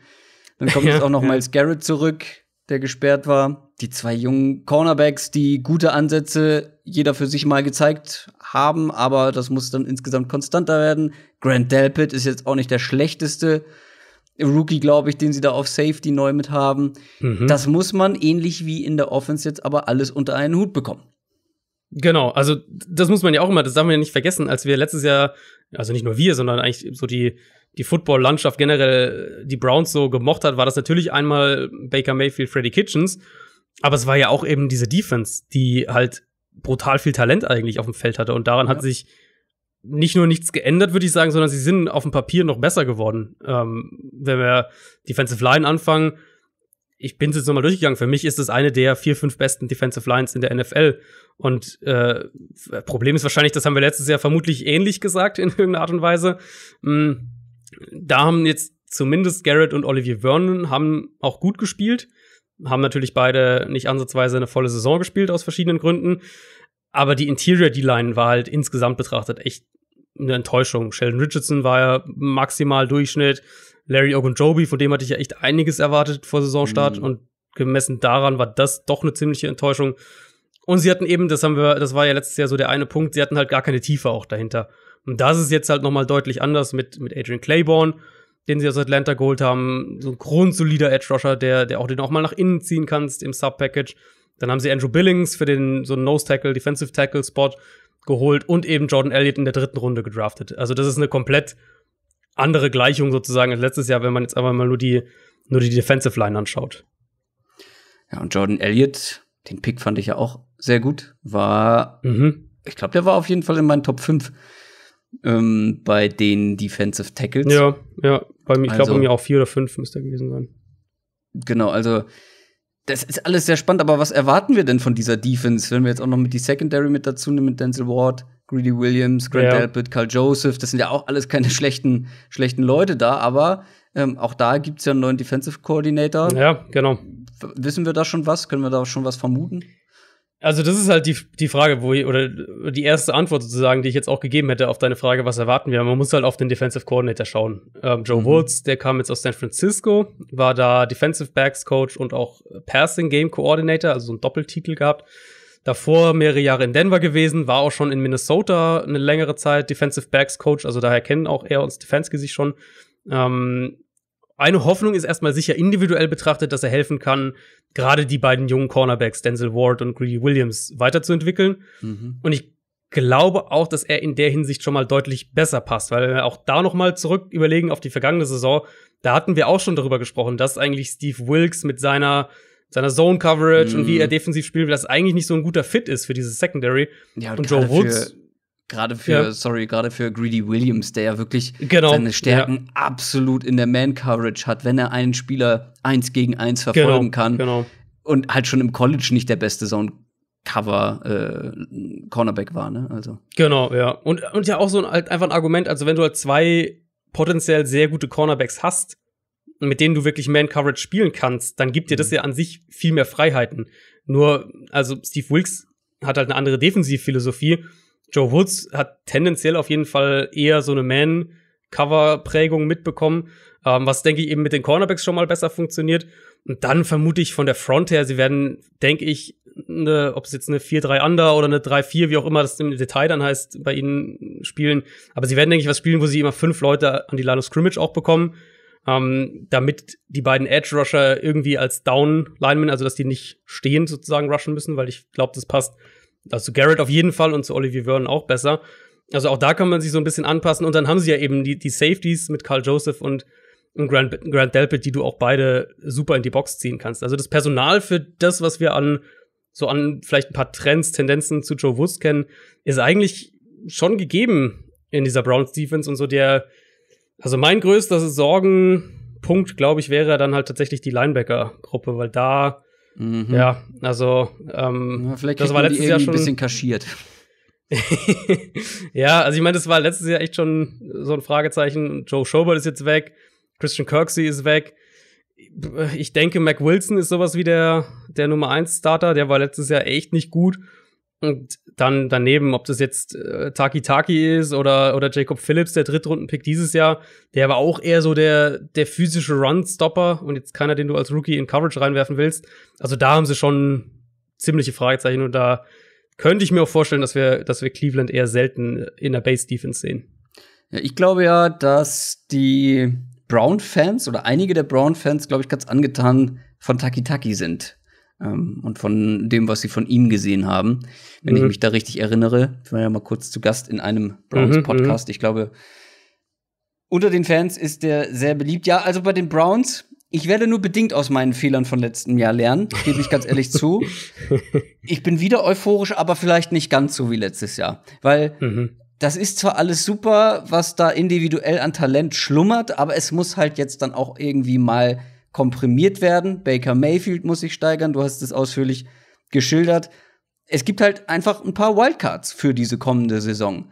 Und mhm. die können in beide Richtungen gehen. Wie gesagt, Head Coach, ne? Also First-Time Head Coach ist immer so eine Klar. Sache ja. für sich. Dieses Jahr Ob ganz das alles besonders. so funktioniert. Wir haben es an Freddy Kitchens gesehen, das sah erst ganz toll ja. aus und dann kam er aber ja wirklich mit dem Job des Head Coaches nicht zurück und da kannst du mhm. noch so ein gutes Football Brain sein. Dann die Teamchemie ist natürlich auch immer so eine Sache, ähm, was man im Blick haben soll. Es gab jetzt wieder irgendwelche Gerüchte über OBJ, ähm, ob er dann doch wieder getradet werden will, war dann letztendlich nichts dran. Aber auch Baker Mayfield ist ja ein äh, spannender Charakter. Da muss man auch seine Entwicklung natürlich ja. sowohl sportlich als auch charakterlich abwarten. Ich meine, wie gesagt, vielleicht äh, ist er da so ein bisschen abgehoben nach seiner starken Rookie-Saison und äh, hat dann zu viele Fehler gemacht. Die junge Secondary. Ich glaube aber schon, dass sie lange um die Playoffs mitspielen. Also müssen sie sowieso, das sollte der Anspruch sein. Ähm, ich glaube auch, dass sie es schaffen, tatsächlich. Und mhm. ich glaube auch Platz zwei in dieser Division ist drin. Mhm. Ist, also ist drin, ja. Ist drin, ja, weil dafür haben die, die Steelers, ja, die gleich tippen? kommen. Bitte? Würdest du drauf tippen? Browns auf zwei? Ich sehe sie aktuell eher hinter Pittsburgh. Pittsburgh mhm. hat natürlich sein eigenes Riesenfragezeichen, kommen wir gleich zu mit, mit Ben Roethlisberger. Aber die Brown, also das Ding ist halt, wir, wir sind am gleichen Punkt eigentlich wie letztes Jahr. Du hast halt ein enormes Potenzial in einem jungen Team mit einem First-Time-Head-Coach. Und ja. letztes Jahr ging es schief, heißt jetzt nicht zwangsläufig, dass es dieses Jahr auch schief geht. Ich glaube, dass das gut funktionieren kann. Ich glaube auch, dass die, die offensiven Ideen eben gut zu, die, die Stefanski mitbringt, dann gut zu Mayfield passen werden und auch gut zu dem mhm. Kader passen. Ja. Aber glaube ich jetzt, nicht. dass die zehn Spiele gewinnen, weiß ich nicht. Also, und ich, also die Steelers, wenn Roethlisberger halbwegs fit und, und in Form und so weiter und an, ansatzweise bei 100% zurückkommt, dann sehe ich die Steelers halt schon in so einer 10-Siege-Kategorie und weiß ich nicht, ob ich die Browns da schon gleich im ersten Jahr reintipp. Kommen wir doch mal zu den Steelers. Die waren 8 mhm. und 8 letztes Jahr und das ist so ein Rekord, wo man im Nachhinein nicht mehr weiß, wie das überhaupt passieren konnte. Also, wie diese Mannschaft überhaupt 8 und 8, wie die Mannschaft 8 Siege holen konnte. Also vor allem die Offense natürlich. Also, man hat ja quasi ohne Quarterback gespielt, nachdem sich Big Ben mhm. verletzt hat. Und dann, was da in Vertretung abging, ich meine, wir haben häufig drüber gesprochen, das war nichts. Nach DVOA nee. sogar die schlechteste Offense der ganzen Liga. Dafür halt natürlich eine bombastische Defense, die diese Saison am Ende dann doch noch ganz gut aussehen lässt. Beziehungsweise man hat ja sogar noch lange um die Playoffs mitspielen können. Ja, ja. Jetzt kommt eben der Nummer 1 Quarterback zurück mit Big Ben. Ähm, und alle sagen natürlich intuitiv, wenn so ein Team ohne einen guten Quarterback schon 8 und 8 war, dann muss ja. es ja jetzt richtig gut werden. Dann müssen die mhm. ja locker jetzt mindestens zwei Siege mehr holen. Und ich will nicht zu viel von meiner Analyse vorweggreifen, aber ich habe so ein paar Zweifel. Oder zumindest, ich bin jetzt nicht so mega euphorisch, wie ich glaube, ein paar andere Leute. Es gibt natürlich dann auch rund um Ben Roethlisberger ein paar Fragen rund um die Offense. Wie viel hat er selber noch im Tank? Ich meine, der geht auch auf die 40 zu, weil jetzt eine ganze Saison raus. Auch mhm. da sollte man, glaube ich, nicht zwingend davon ausgehen, dass er wie der Alte gleich von zu Beginn an zurückkommt. Müssen wir mal schauen. Kann man nicht vorhersagen. Er war es zum Beispiel auch immer gewohnt, eine richtig gute Offensive Line zu haben, die letzten Jahre. Die war jetzt letztes Jahr nicht schlecht, aber auch nicht so gut, wie man das von der Steelers, Steelers Offensive Line gewohnt war. Mhm. Ähm, kann natürlich auch irgendwo daran liegen, dass man äh, Mike Munchak verloren hat, den Offensive Line Coach. Da haben wir, glaube ich, in der letzten Offseason war das letzte Offseason oder ist das schon ja. noch ein Jahr her? Nee, das müsste letzte Nee, müsste sein. letzte Jahr. Ja. Also es ist doch ist er nicht nach Denver? Ja, ja, ja, der ist jetzt in Denver, gegangen. genau. Ich, meine, ich ja. überlege nur gerade, mhm. ob es letztes Jahr oder vorletztes Jahr war, aber es muss letztes Jahr gewesen sein. Das war ja mit Vic Fangio da zusammen, meine ich, in der Genau, genau, genau.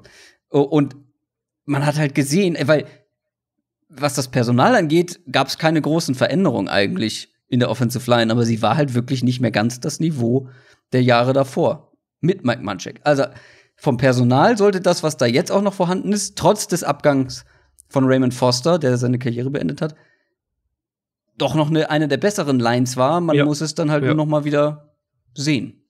Also sie waren ja letztes Jahr jetzt auch nicht irgendwie schlecht. Ich glaube, so, das genau. ist vielleicht auch wichtig zu sagen. Also sie waren halt jetzt nicht die Top drei dominante Line, so, aber sie waren ja immer noch so Top 10, würde ich sagen, so rund um den zehnten Platz, zumindest in Pass Protection. In Run Blocking nochmal eine andere Sache, aber Run Blocking war, glaube ich, gar nicht gut, wenn ich das richtig nee, genau, habe.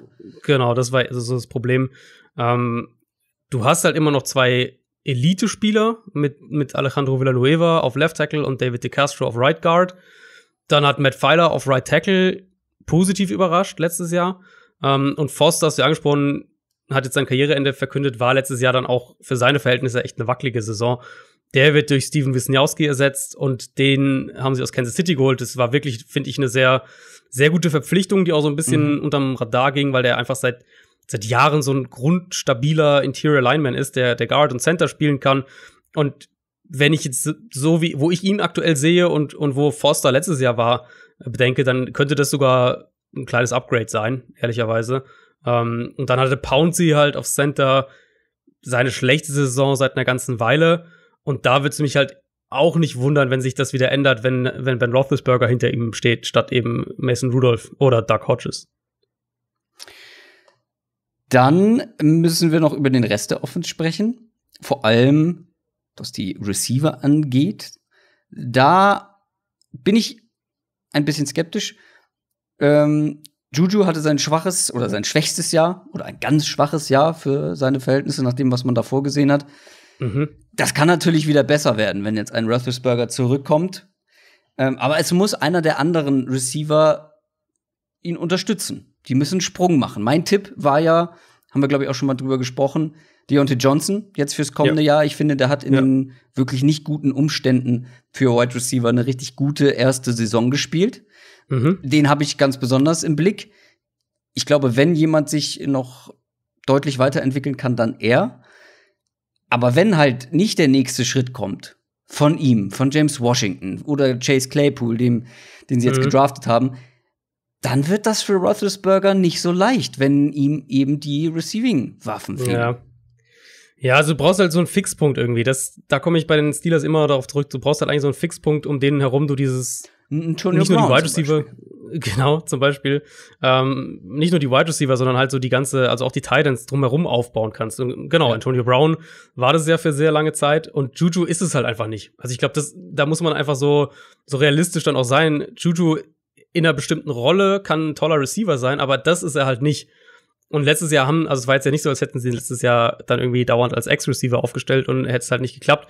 Die haben den ja schon auch viel rumgeschoben, eigentlich so wie wie das Jahr davor auch. Also mhm. in seiner Rolle hat sich eigentlich nicht so viel geändert, aber es haben halt die, die Umstände um ihn herum haben sich eben verändert. Und da wäre es jetzt ganz kritisch, dass vielleicht ein Deontay Johnson in diese, in diese Rolle rutschen kann. Der kann Outside äh, gewinnen. Vielleicht aber trotzdem so ein bisschen besser geeignet als dann eben so ein Move-Receiver, den du ein bisschen hin und her bewegst. Weil, falls er nicht der Kandidat ist für so eine, für so eine Rolle, dann finde ich es halt schwierig. Also dann musst du vielleicht hoffen, dass Claypool echt positiv überrascht. Und ich mag den ja eigentlich ganz gerne in der, in der, in der Offense auch, weil das ist halt so ein physischer Big Body Receiver, ähm, der, also auch ein klassischer Outside Receiver, der ist halt noch echt roh. Deswegen ist es schwierig, sich drauf zu verlassen als, als Rookie und in dieser, in diesen Umständen dieses Jahr umso mehr. Ähm, was ich denke, was passieren wird, ist, dass die Steelers deutlich mehr mit zwei Titans auf dem Feld äh, spielen. Ich glaube, das wird so ja. ein Teil der Antwort sein, dass sie mit Eric Ebron, den sie geholt haben, und, und Vance McDonald, dass sie deutlich mehr zwei Titans auf dem Feld haben und so die Receiver-Gruppe entlasten und so ein bisschen mehr das, den Ball verteilen. Sicher auch wieder, das ist ja eigentlich sowas, was sie mit Big Ben immer machen oder in den letzten Jahren vor allem immer gemacht haben. Viel Hurry-Up, viel Spread-Offense auch spielen. Und diese ganzen Sachen haben ja letztes Jahr irgendwie dann immer wieder komplett gefehlt. Also sie waren ja viel run-lastiger als sonst. Du konntest ja. halt einfach auch nicht so spielen, weil die Quarterback-Situation halt so war. Ja, also da hat ja in dieser Offense eigentlich jeder enttäuscht, inklusive Vance McDonald. Den hatte ich ja ganz oben auf der Liste bei den Tight Ends, bei den Receiving Tight Ends, die irgendwie richtig explodieren können, bevor sich Big Ben halt verletzt hat. Eric Ebron halt auch wirklich einer der besseren Receiving Tight Ends, einer der dynamischeren. Gerade in der Red Zone kann er wirklich noch mal einen Unterschied machen. Bin ich sehr gespannt drauf. Aber was glaubst du denn jetzt, was wir von Roethlisberger erwarten können? Also zum Teil ist es natürlich einfach eine medizinische Frage. Er kommt halt von der Ellbogenverletzung zurück. Mhm. In seinem Alter als Quarterback ist das erstmal mit Sicherheit ein Handicap. Alles, was wir bisher gehört haben, war sehr positiv, aber das muss ja nicht unbedingt viel heißen. Also sowohl von medizinischer Seite als auch jetzt von, von Leuten, die mit ihm irgendwie in Workouts waren, war das immer so, ist eigentlich im, voll im Zeitplan und entwickelt sich gut und alles soweit äh, passt alles. Sagen wir jetzt einfach mal, er kommt medizinisch zu 100% zurück, dann denke ich, kann er immer noch ein Quarterback sein, der so irgendwo zwischen Platz 10 und 15 in der NFL ist. Also da würde ich ihn dann grob sehen, eher Richtung 10. Mhm. Aber so ungefähr in dieser Range würde ich ihn dann grob einschätzen. Und dann, äh, wenn du das hast, im, also gerade im Vergleich zu letztem Jahr, dann hast du halt eine Offense, die auf jeden Fall gut genug ist, denke ich, in Kombination mit einer Defense, die vielleicht nicht so stark bleibt, wie sie letztes Jahr war, aber eigentlich immer noch sehr, sehr gut sein sollte.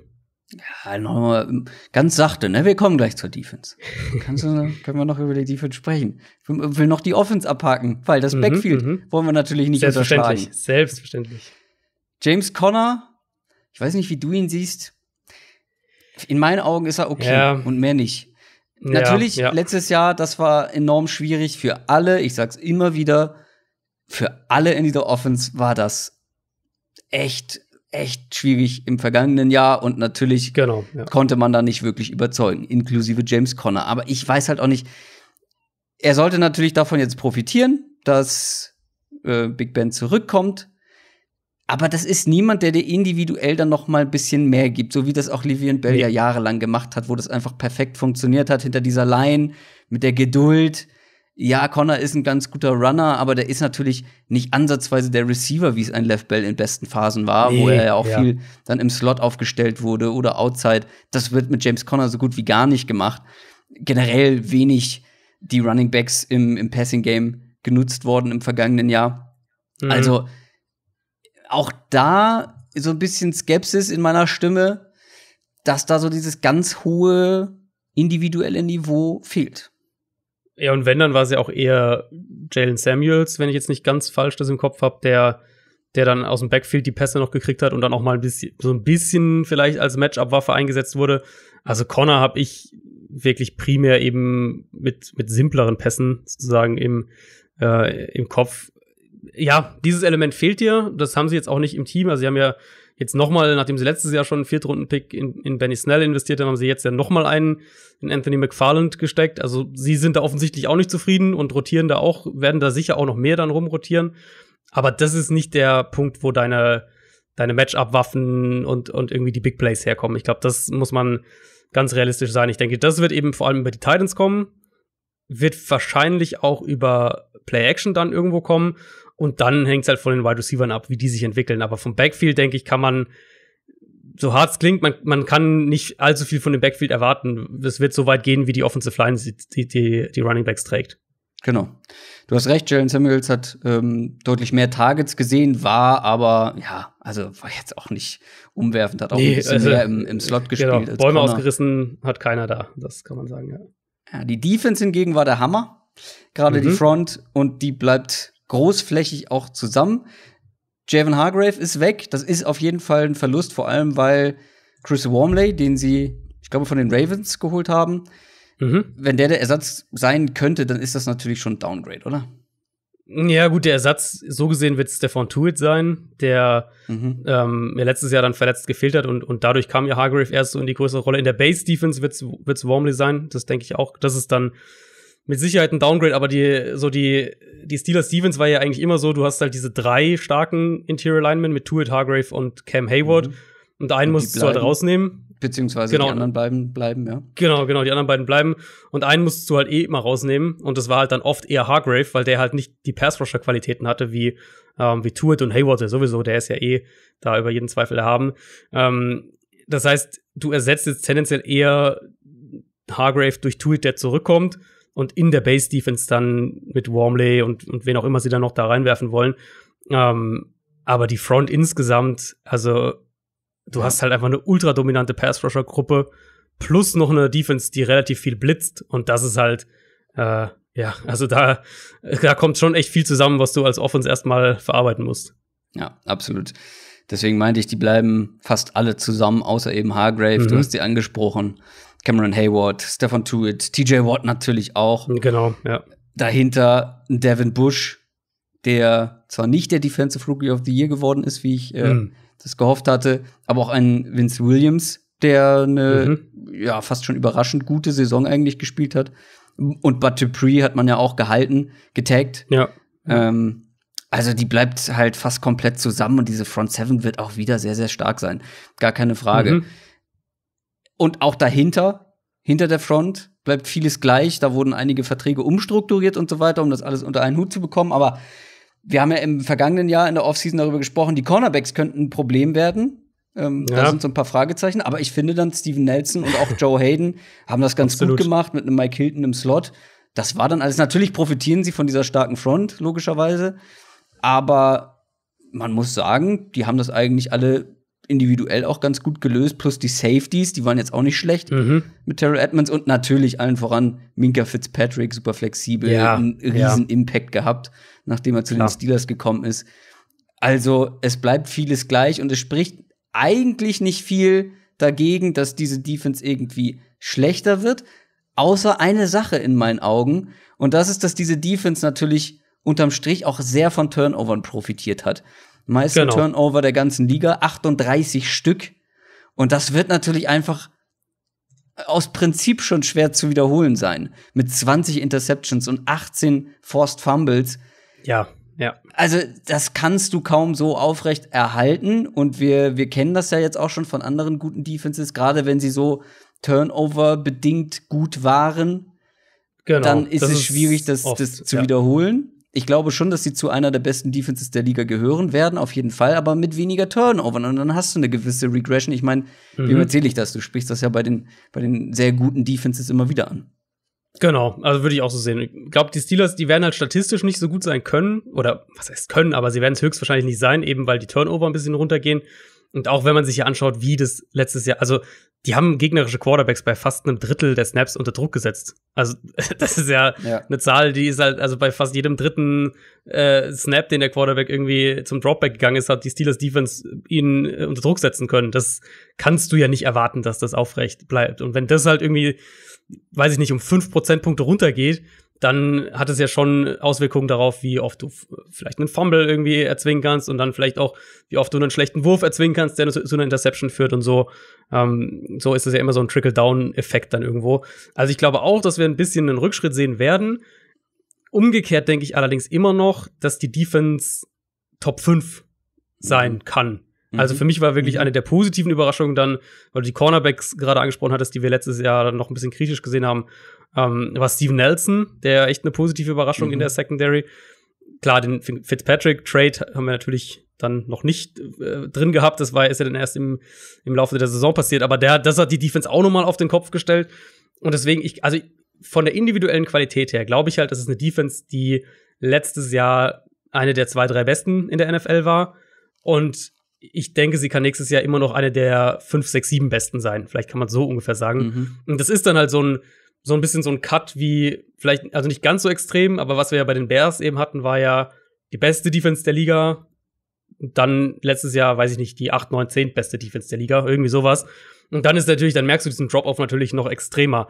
Der Unterschied ist aber, dass wir halt bei den Steelers drauf realistisch hoffen dürfen oder prognostizieren dürfen, ähm, dass die offensiv das auffangen können. Also, dass die offensiv stark genug sind, um dann Mhm. wieder ähm, diese, diese vielleicht weniger Turnover, was auch immer, weniger äh, Three and Outs und so weiter, ähm, dass die das wieder ausgleichen können. Und das ist ja dann der Unterschied halt zu Jaguars sind ja so ein Beispiel, Bears sind so ein Beispiel, die das halt offensiv nicht auffangen konnten. Also vielleicht geht das Pendel wieder mehr so ein bisschen in die Mitte bei Pittsburgh, aber ich glaube, die Defense wird immer noch eine der, wie gesagt, 5, 6, 7 besten ähm, in der NFL sein. Ja, stimme ich grundsätzlich zu. Ich, wie gesagt, bei der Offense, da habe ich irgendwie so ein skeptisches Bauchgefühl. Ja, Zum äh, einen natürlich bei Big Also, Ben. ja. Also ich kann einfach jetzt nicht safe davon ausgehen, dass er wieder zurückkommt und wieder so gut ist wie vorher. Plus, Mhm. er kennt auch eigentlich nur eine andere Offense. Er kennt nur eine, wo er zumindest so einen Receiver wie Antonio Brown. Hat er eigentlich schon ohne Antonio Brown gespielt? Naja, gut, das eine Spiel halt, ne?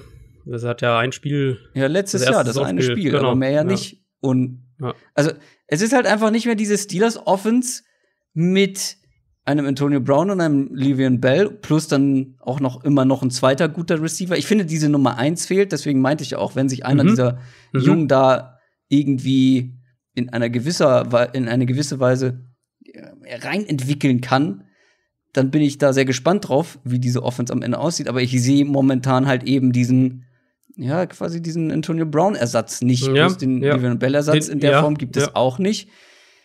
Wenn es da keine Überraschung gibt, dann werde ich weiterhin erstmal skeptisch bleiben. Wie gesagt, unterm Strich glaube ich, dass sie eine gute Saison spielen.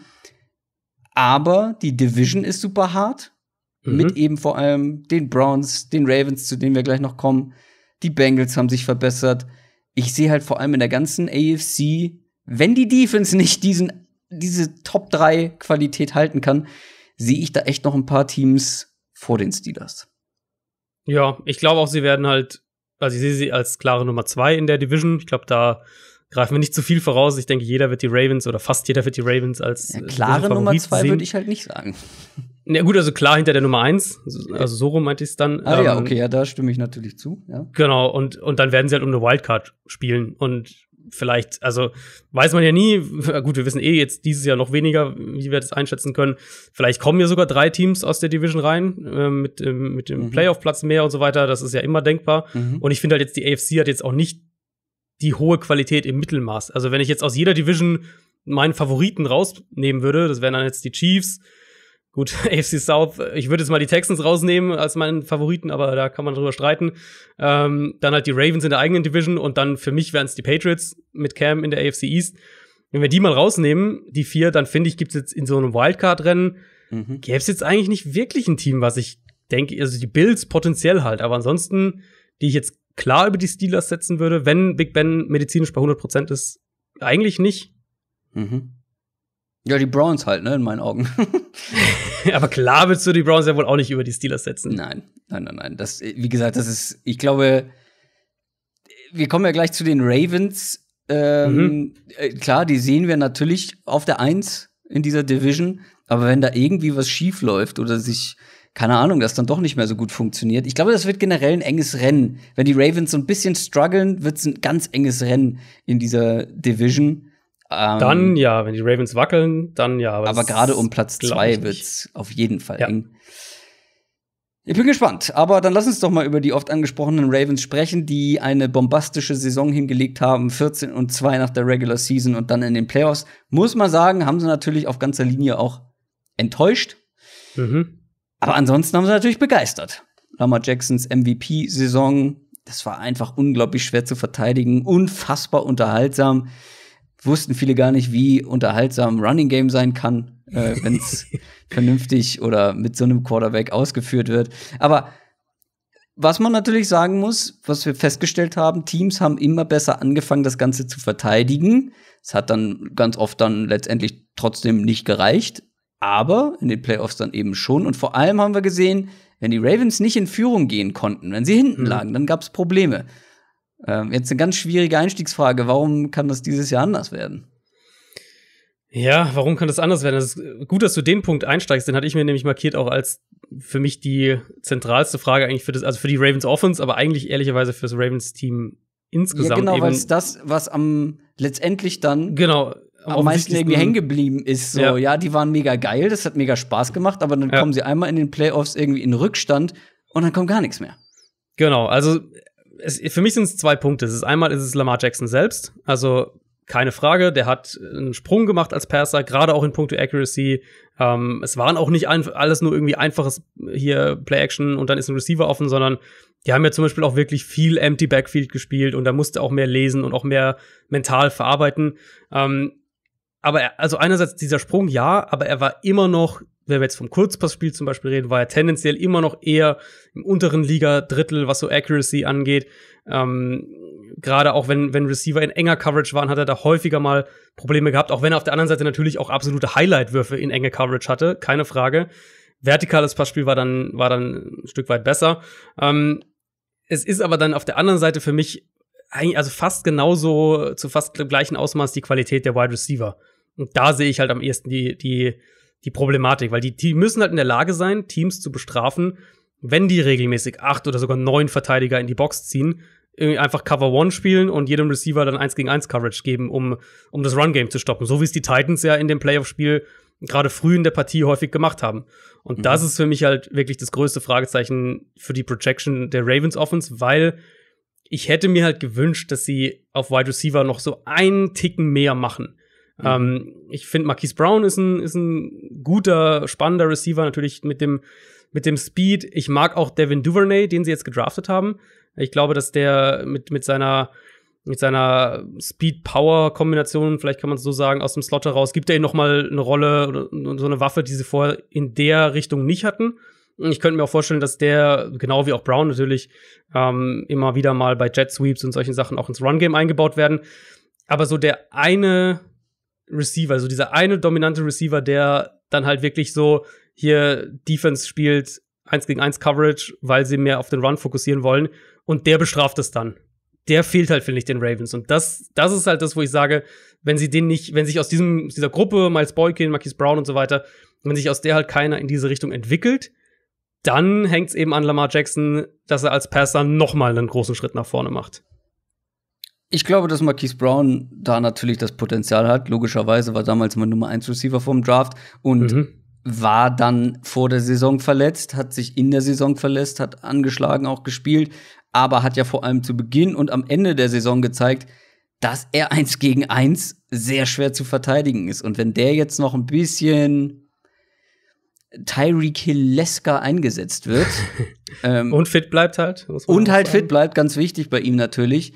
Ich glaube, dann kann er auch dieser, dieser Playmaker, dieser Unterschiedsspieler sein, weil, wie du schon sagst, wenn die Defenses sagen, okay, wir verteidigen die Wide Receiver 1 gegen 1, ich glaube, dass Marquise Brown mit seiner Explosivität, mit seinem Speed wirklich ganz oft dann die 1 gegen 1 Duelle gewinnen kann wie gesagt, wir haben es in Ansätzen gesehen und dem würde mhm. ich da dann auch noch mal Zeit geben, gerade wegen der Verletzungen, aber halt natürlich, es war sein erstes Jahr in der mhm. NFL und ich glaube schon, dass es da noch einen Schritt in die richtige Richtung geben kann.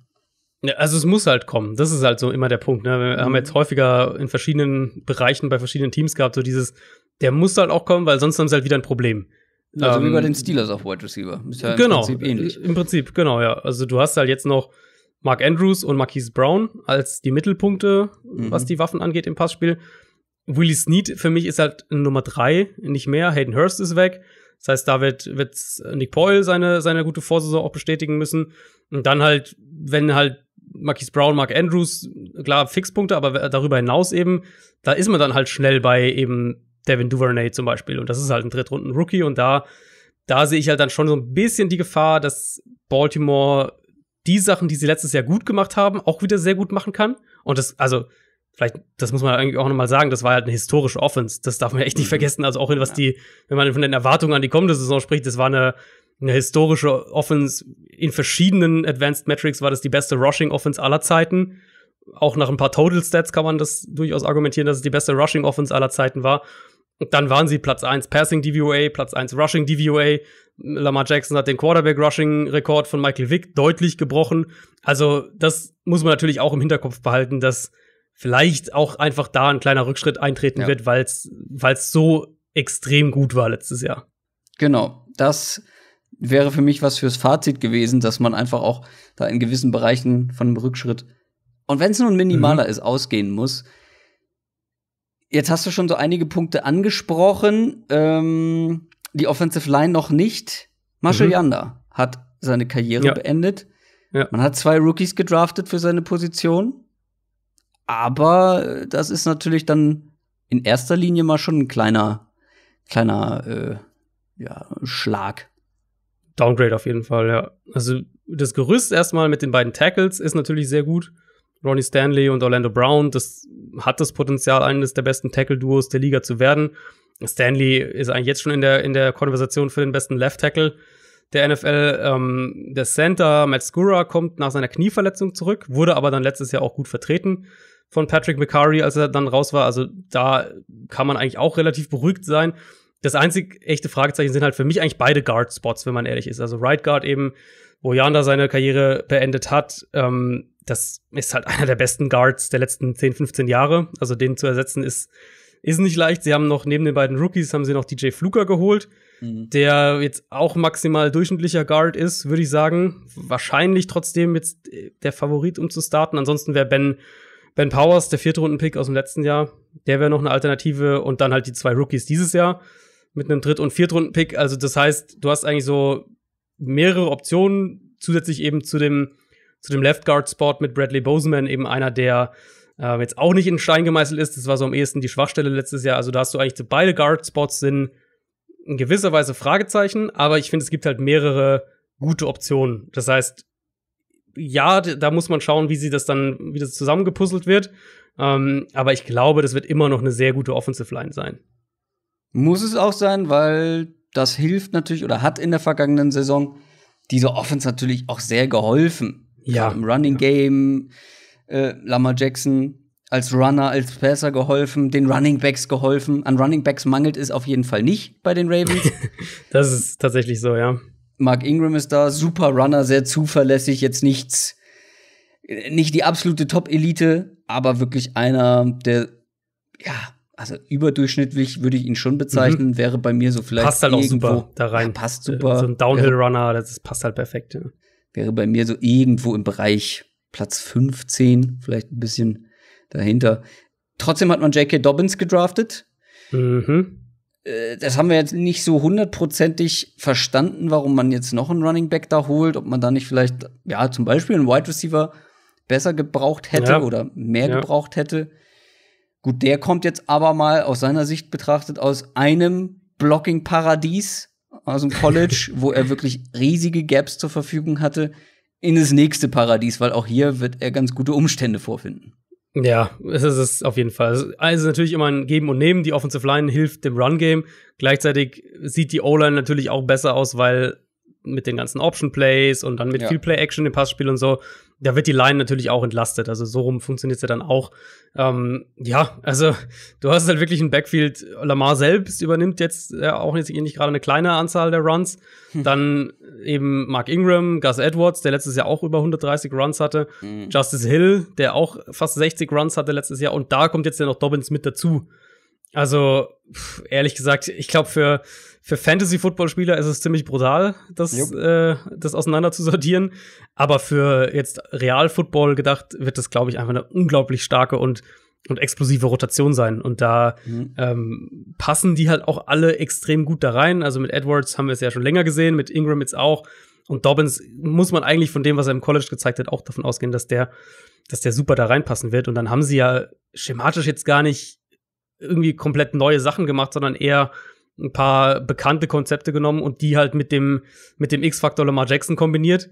Und auch da haben sie ja ne, die, die Konstanz eben, dass Greg Roman der Offensive Coordinator bleibt. Also vom, vom Run-Design her eigentlich kein, keine größeren Bedenken, dass sie da jetzt irgendwie einbrechen. Und dann sind sie ja auch, auch wenn jetzt Teams sie ein bisschen besser verteidigen konnten, auch wenn man sicher in der kommenden Saison dann häufiger sie aufgefordert sein werden, auch mehr übers Passspiel zu kommen. Also, dass sie einfach mal häufiger hinten liegen werden als letztes Jahr. Das wird einfach auch passieren. Ähm, sind sie ja immer noch irgendwo eine sehr einzigartige Offense, eben mhm. generell, wie sie spielen. Also, dass sie, also ich glaube, sie haben über 550 Mal aus der Pistol-Formation gespielt, was einfach kein anderes Team mehr als 65 Mal gemacht hat. Also allein in die Richtung kriegst du, kriegst du Plays, äh, kriegst du Formationen und, und Designs und auch personell Gruppierungen, die sehr flexibel sind, die sehr vielfältig sind, wo sie äh, viel, viel rotieren, dann mal mit zwei Running Backs, dann mal mit zwei Tight Ends, dann auch doch mal wieder mit drei Receivern spielen. Ähm, kriegst du halt in so einer Vielfalt und in so einer Aufteilung sehr, sehr selten zu sehen als NFL-Defense. Und die Ravens fordern das halt immer noch und, und fordern dich halt dann immer noch da, auch in der Richtung eben ähm, dich halt anzupassen an, an dieses eine spezifische Offense. Das gleiche kann man ja im Prinzip auch über die Defense sagen, die schwierig, ja. schwierig für Gegner zu lesen ist und äh, ja sehr flexibel. Sehr viele Spieler, die unterschiedlich eingesetzt werden. Ich meine, ein Earl Thomas musste noch nie so oft äh, so ja. nah an der Line of Scrimmage spielen und so oft blitzen wie im vergangenen Jahr. Aber mhm. dazu halt eben auch Spieler wie Marcus Peters, der dieser Defense ja auch noch mal ein, auf ein anderes Niveau verholfen hat. Die Front generell mit vielen individuell starken Spielern und jetzt kommen da ja auch noch ein, zwei Leute mit dazu, wie ein Calais Campbell ähm, ja. aus, aus Jacksonville, aber auch ein Patrick Queen in der ersten Runde des Drafts. Also diese Defense, weiß ich nicht, ob die, also ich glaube, die hat das Potenzial halt noch besser zu werden als letztes Jahr. Ja, deine Überleitung war wirklich, hat den Nagel eigentlich auf den Kopf getroffen. Auch so. da sind die Ravens so kurz vorm Urlaub. Haut er noch mal. Ah. War aber auch, war aber nee, auch ein Elfer ohne Torwart, ne? muss man ganz ehrlich sagen. Hast du mir ja schön vorbereitet. Ja, gut. Ähm, nee, aber auch da sind die Ravens halt echt einzigartig. Die haben letztes Jahr in 54 Prozent der Passplays der gegnerischen geblitzt. Und um das nur mal einzuordnen, also kein anderes Team war bei über 45 Prozent. Das wären dann die Buccaneers und dann kamen die Cardinals und Jets und die waren jeweils schon unter 40 Prozent. Also Ravens mit, mit, mit über 54 Prozent, mit weitem Abstand die aggressivste Defense. Die haben auch die, die besten Zero-Blitzes gespielt, also ohne Safety-Absicherung dann dahinter. Und ähm, ja, also man muss es tatsächlich bei Baltimore von, von der Secondary anfangen, weil alles beginnt halt damit. Zuallererst ist es eine Cover One Blitzing Defense. Wenn man die Ravens ganz knapp zusammenfasst, die spielen primär Cover One, ähm, also du hast Man Coverage mit einem tiefen Safety und dann äh, blitzen sie halt unglaublich viel. Und das können sie halt machen, weil sie die Spieler dafür haben in der Secondary. Also sie spielen kaum Base Defense, primär dann Nickel und Dime, also sechs oder fünf Defensive Backs. Sie haben eine der zwei, drei besten Cornerback-Gruppen in der NFL mit, mit Marlon Humphrey, Peters eben, Jimmy Smith, dazu Tavon Young, der jetzt nach seiner Nackenverletzung zurück ist. Der hat ja äh, die Saison verpasst. Der dürfte jetzt im Slot dann starten. Brandon Carr ist weg. Da haben die Ravens die Optionen nicht gezogen, haben ihn gehen lassen. Aber insgesamt die Cornerbacks eben plus, du hast ja angesprochen, die flexible Art und Weise, wie sie ihre Safeties einsetzen, das gibt ihnen halt enorme Möglichkeiten. Und sie können eben auch, ähnlich so ein bisschen von der Grundidee wie die Patriots, sie können halt auch gegen jede Offense-Man-Coverage spielen. Ähm, weil sie halt auch Blitzer dann aus allen Richtungen bringen können und weil sie halt die individuelle Coverqualität haben. Und bei Baltimore muss, ja, muss man ja sagen, wenn wir eben bei den Steelers die Turnover angesprochen haben, das ist ja nichts, wo, wo die Ravens irgendwie groß mit gepunktet mhm. haben. Also ja, die hatten auch einige Turnover, aber ich glaube, ich habe es vorhin mal nachgeschaut, über zehn insgesamt weniger über die ganze Saison. Das ist natürlich dann schon ein Unterschied. Mhm. Also das ist nicht ganz so, ja, das steht nicht auf so ganz unsicheren Füßen, dass die Ravens halt wieder so eine starke Defense werden. Ja, es ist eher halt wiederholbar, genau. Also genau. sie hatten jetzt zum Beispiel auch nicht so eine extreme Pressure-Quote, was ich ja bei den Steelers vorhin gesagt hatte, die mhm. bei, bei über 30 Prozent lagen. Da war, war Baltimore war fast acht Prozentpunkte drunter. Also nochmal ähm, eine andere, ganz andere Kategorie, waren eher so im, im Liga-Mittelfeld. Ähm, ja, und warum können sie das halten? Weil sie sich halt in den Bereichen, wo sie letztes Jahr Probleme hatten, eigentlich nochmal verbessert mhm, haben. Genau. Ähm, so, also Hand in Hand eigentlich mit dieser Blitzing-Defense und was ich jetzt gerade über die Secondary gesagt hat, geht ja die Defensive Line, die halt auch Räume kreieren kann. Und Baltimore hatte letztes Jahr eben wirklich nicht viel individuelle Pass-Rush-Production von Spielern wie Brandon Williams oder Michael Pierce oder auch Jalen Ferguson oder eben Chris Wormley, den wir auch vorhin schon äh, angesprochen hatten. Obwohl auch die alle zum Beispiel über 250 Pass-Rush-Snaps hatten letztes Jahr. Also die haben jetzt alle auf so einem Base-Level gespielt, aber die waren jetzt keine individuellen Spieler, die da den Unterschied machen. Matt Judon war so ein bisschen die Ausnahme, aber auch der hat ja enorm davon profitiert, dass so viel geblitzt wurde, dass er viele 1 gegen 1 Duelle hatte und so weiter. Ähm, und jetzt haben sie halt, glaube ich, mit den Verpflichtungen, mit dem Trade vor allem für Calais Campbell, mit der Verpflichtung von Derek Wolf, haben sie eine Defensive Line, die nicht nur Räume kreieren kann, ähm, sondern die einmal auch hilft, die Run-Defense zu stabilisieren. Das war teilweise echt auch ein Problem letztes Jahr. Aber die halt auch individuelle Pass-Rush-Qualität mitbringt, die sie halt so eben, wie gesagt, letztes Jahr nicht hatten. Deswegen sehe ich da ein Upgrade plus dann eben das Upgrade auf Linebacker. Das ist dann so der, macht dann mhm. so die ganze Sache rund. Das war letztes Jahr auch immer wieder eine Problemzone, vor allem so der zweite Linebacker-Spot. Ähm, die beiden Starter aus dem letzten Jahr sind jetzt weg mit Josh Bynes und, und Patrick Onwuasor. Das heißt, ich könnte mir vorstellen, dass wir da Patrick Queen und Malik Harrison, die beiden Rookies, auch zusammen relativ früh als, ähm, als Starter sehen und, und Harrison halt eher so der, der Runstopper und Queen halt so dieser Cover-Linebacker, den sie auch hier wieder letztes Jahr so einfach nicht hatten. Wobei man fairerweise sagen muss, wenn du sagst, wir sehen zwei Rookies wahrscheinlich sehr schnell, es sind halt Rookies. Ne? Also wir können jetzt auch Klar. nicht äh, hundertprozentig davon ausgehen, dass die das dann auch so zeigen, wie wir das vor allem von dem Patrick Queen natürlich erwarten, mhm. den wir wirklich sehr mochten vor dem Draft.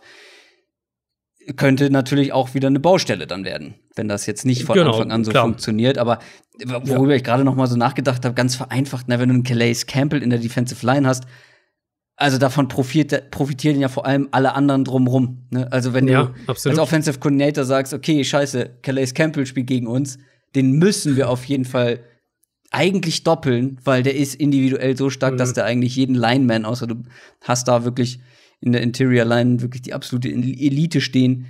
Da müssen wir uns ihn auf ihn mehr konzentrieren und dann kann ja gerade diese flexible Defense, diese äh, schwer vorhersehbare Line Genau. mit ihrem Blitzing, Ja. kann ja davon gerade super profitieren. Also da bin ich sehr gespannt.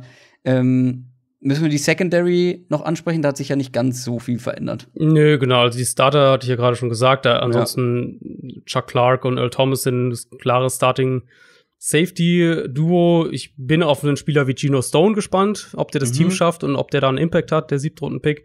Den hatte ich ja eigentlich deutlich höher auch gesehen. Aber ansonsten ist da eigentlich recht viel Kontinuität, abgesehen eben davon, dass, dass wie gesagt, Tavon Young zurückkommt und Brandon Carr eben weg ist. Plus natürlich den besten Kicker der Liga. Das ist natürlich auch richtig. Ja. Das ist das erste Mal, dass wir. Ich kann sagen, jetzt zum Abschluss haben wir jetzt noch Ja. einmal einen Kicker erwähnt. Ja, ich habe gerade hier mir den Roster mal aufgemacht und dann steht hier natürlich ein Justin Tucker und äh, dann dachte ich, komm, gönnen wir ihm mal die Bühne. Ja, Aber ich also glaube- Ravens, ja, Ja. Also, vielleicht so ein, ein Satz, den man, glaube ich, noch sagen könnte: Ravens haben halt auch einen der besten Coaching-Staffs in der NFL. Das, Absolut. äh, sie haben einen super Offensive Coordinator, Greg Roman, der halt auch perfekt zu dem passt, was sie mit Lamar Jackson machen wollen. Mhm. Don Martindale war letztes Jahr, wenn nicht der Beste, dann einer der besten Defensive Coordinators in der NFL.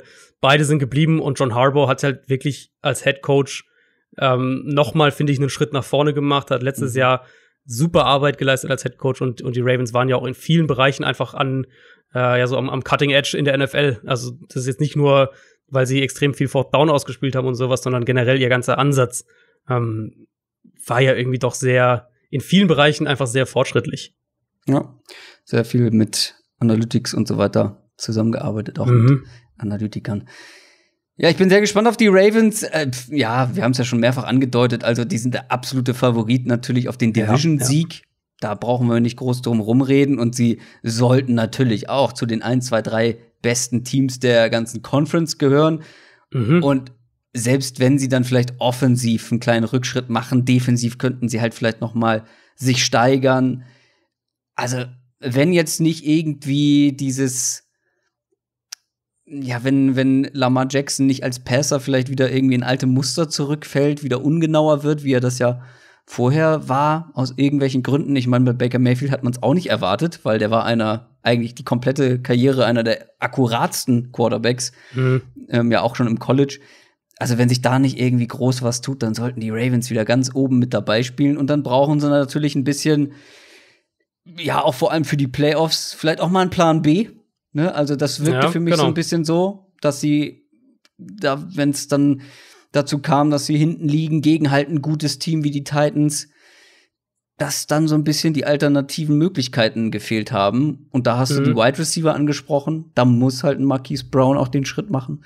Ähm, also ich, ich würde jetzt die Ravens nicht als Super Bowl-Kandidaten Nummer eins sehen.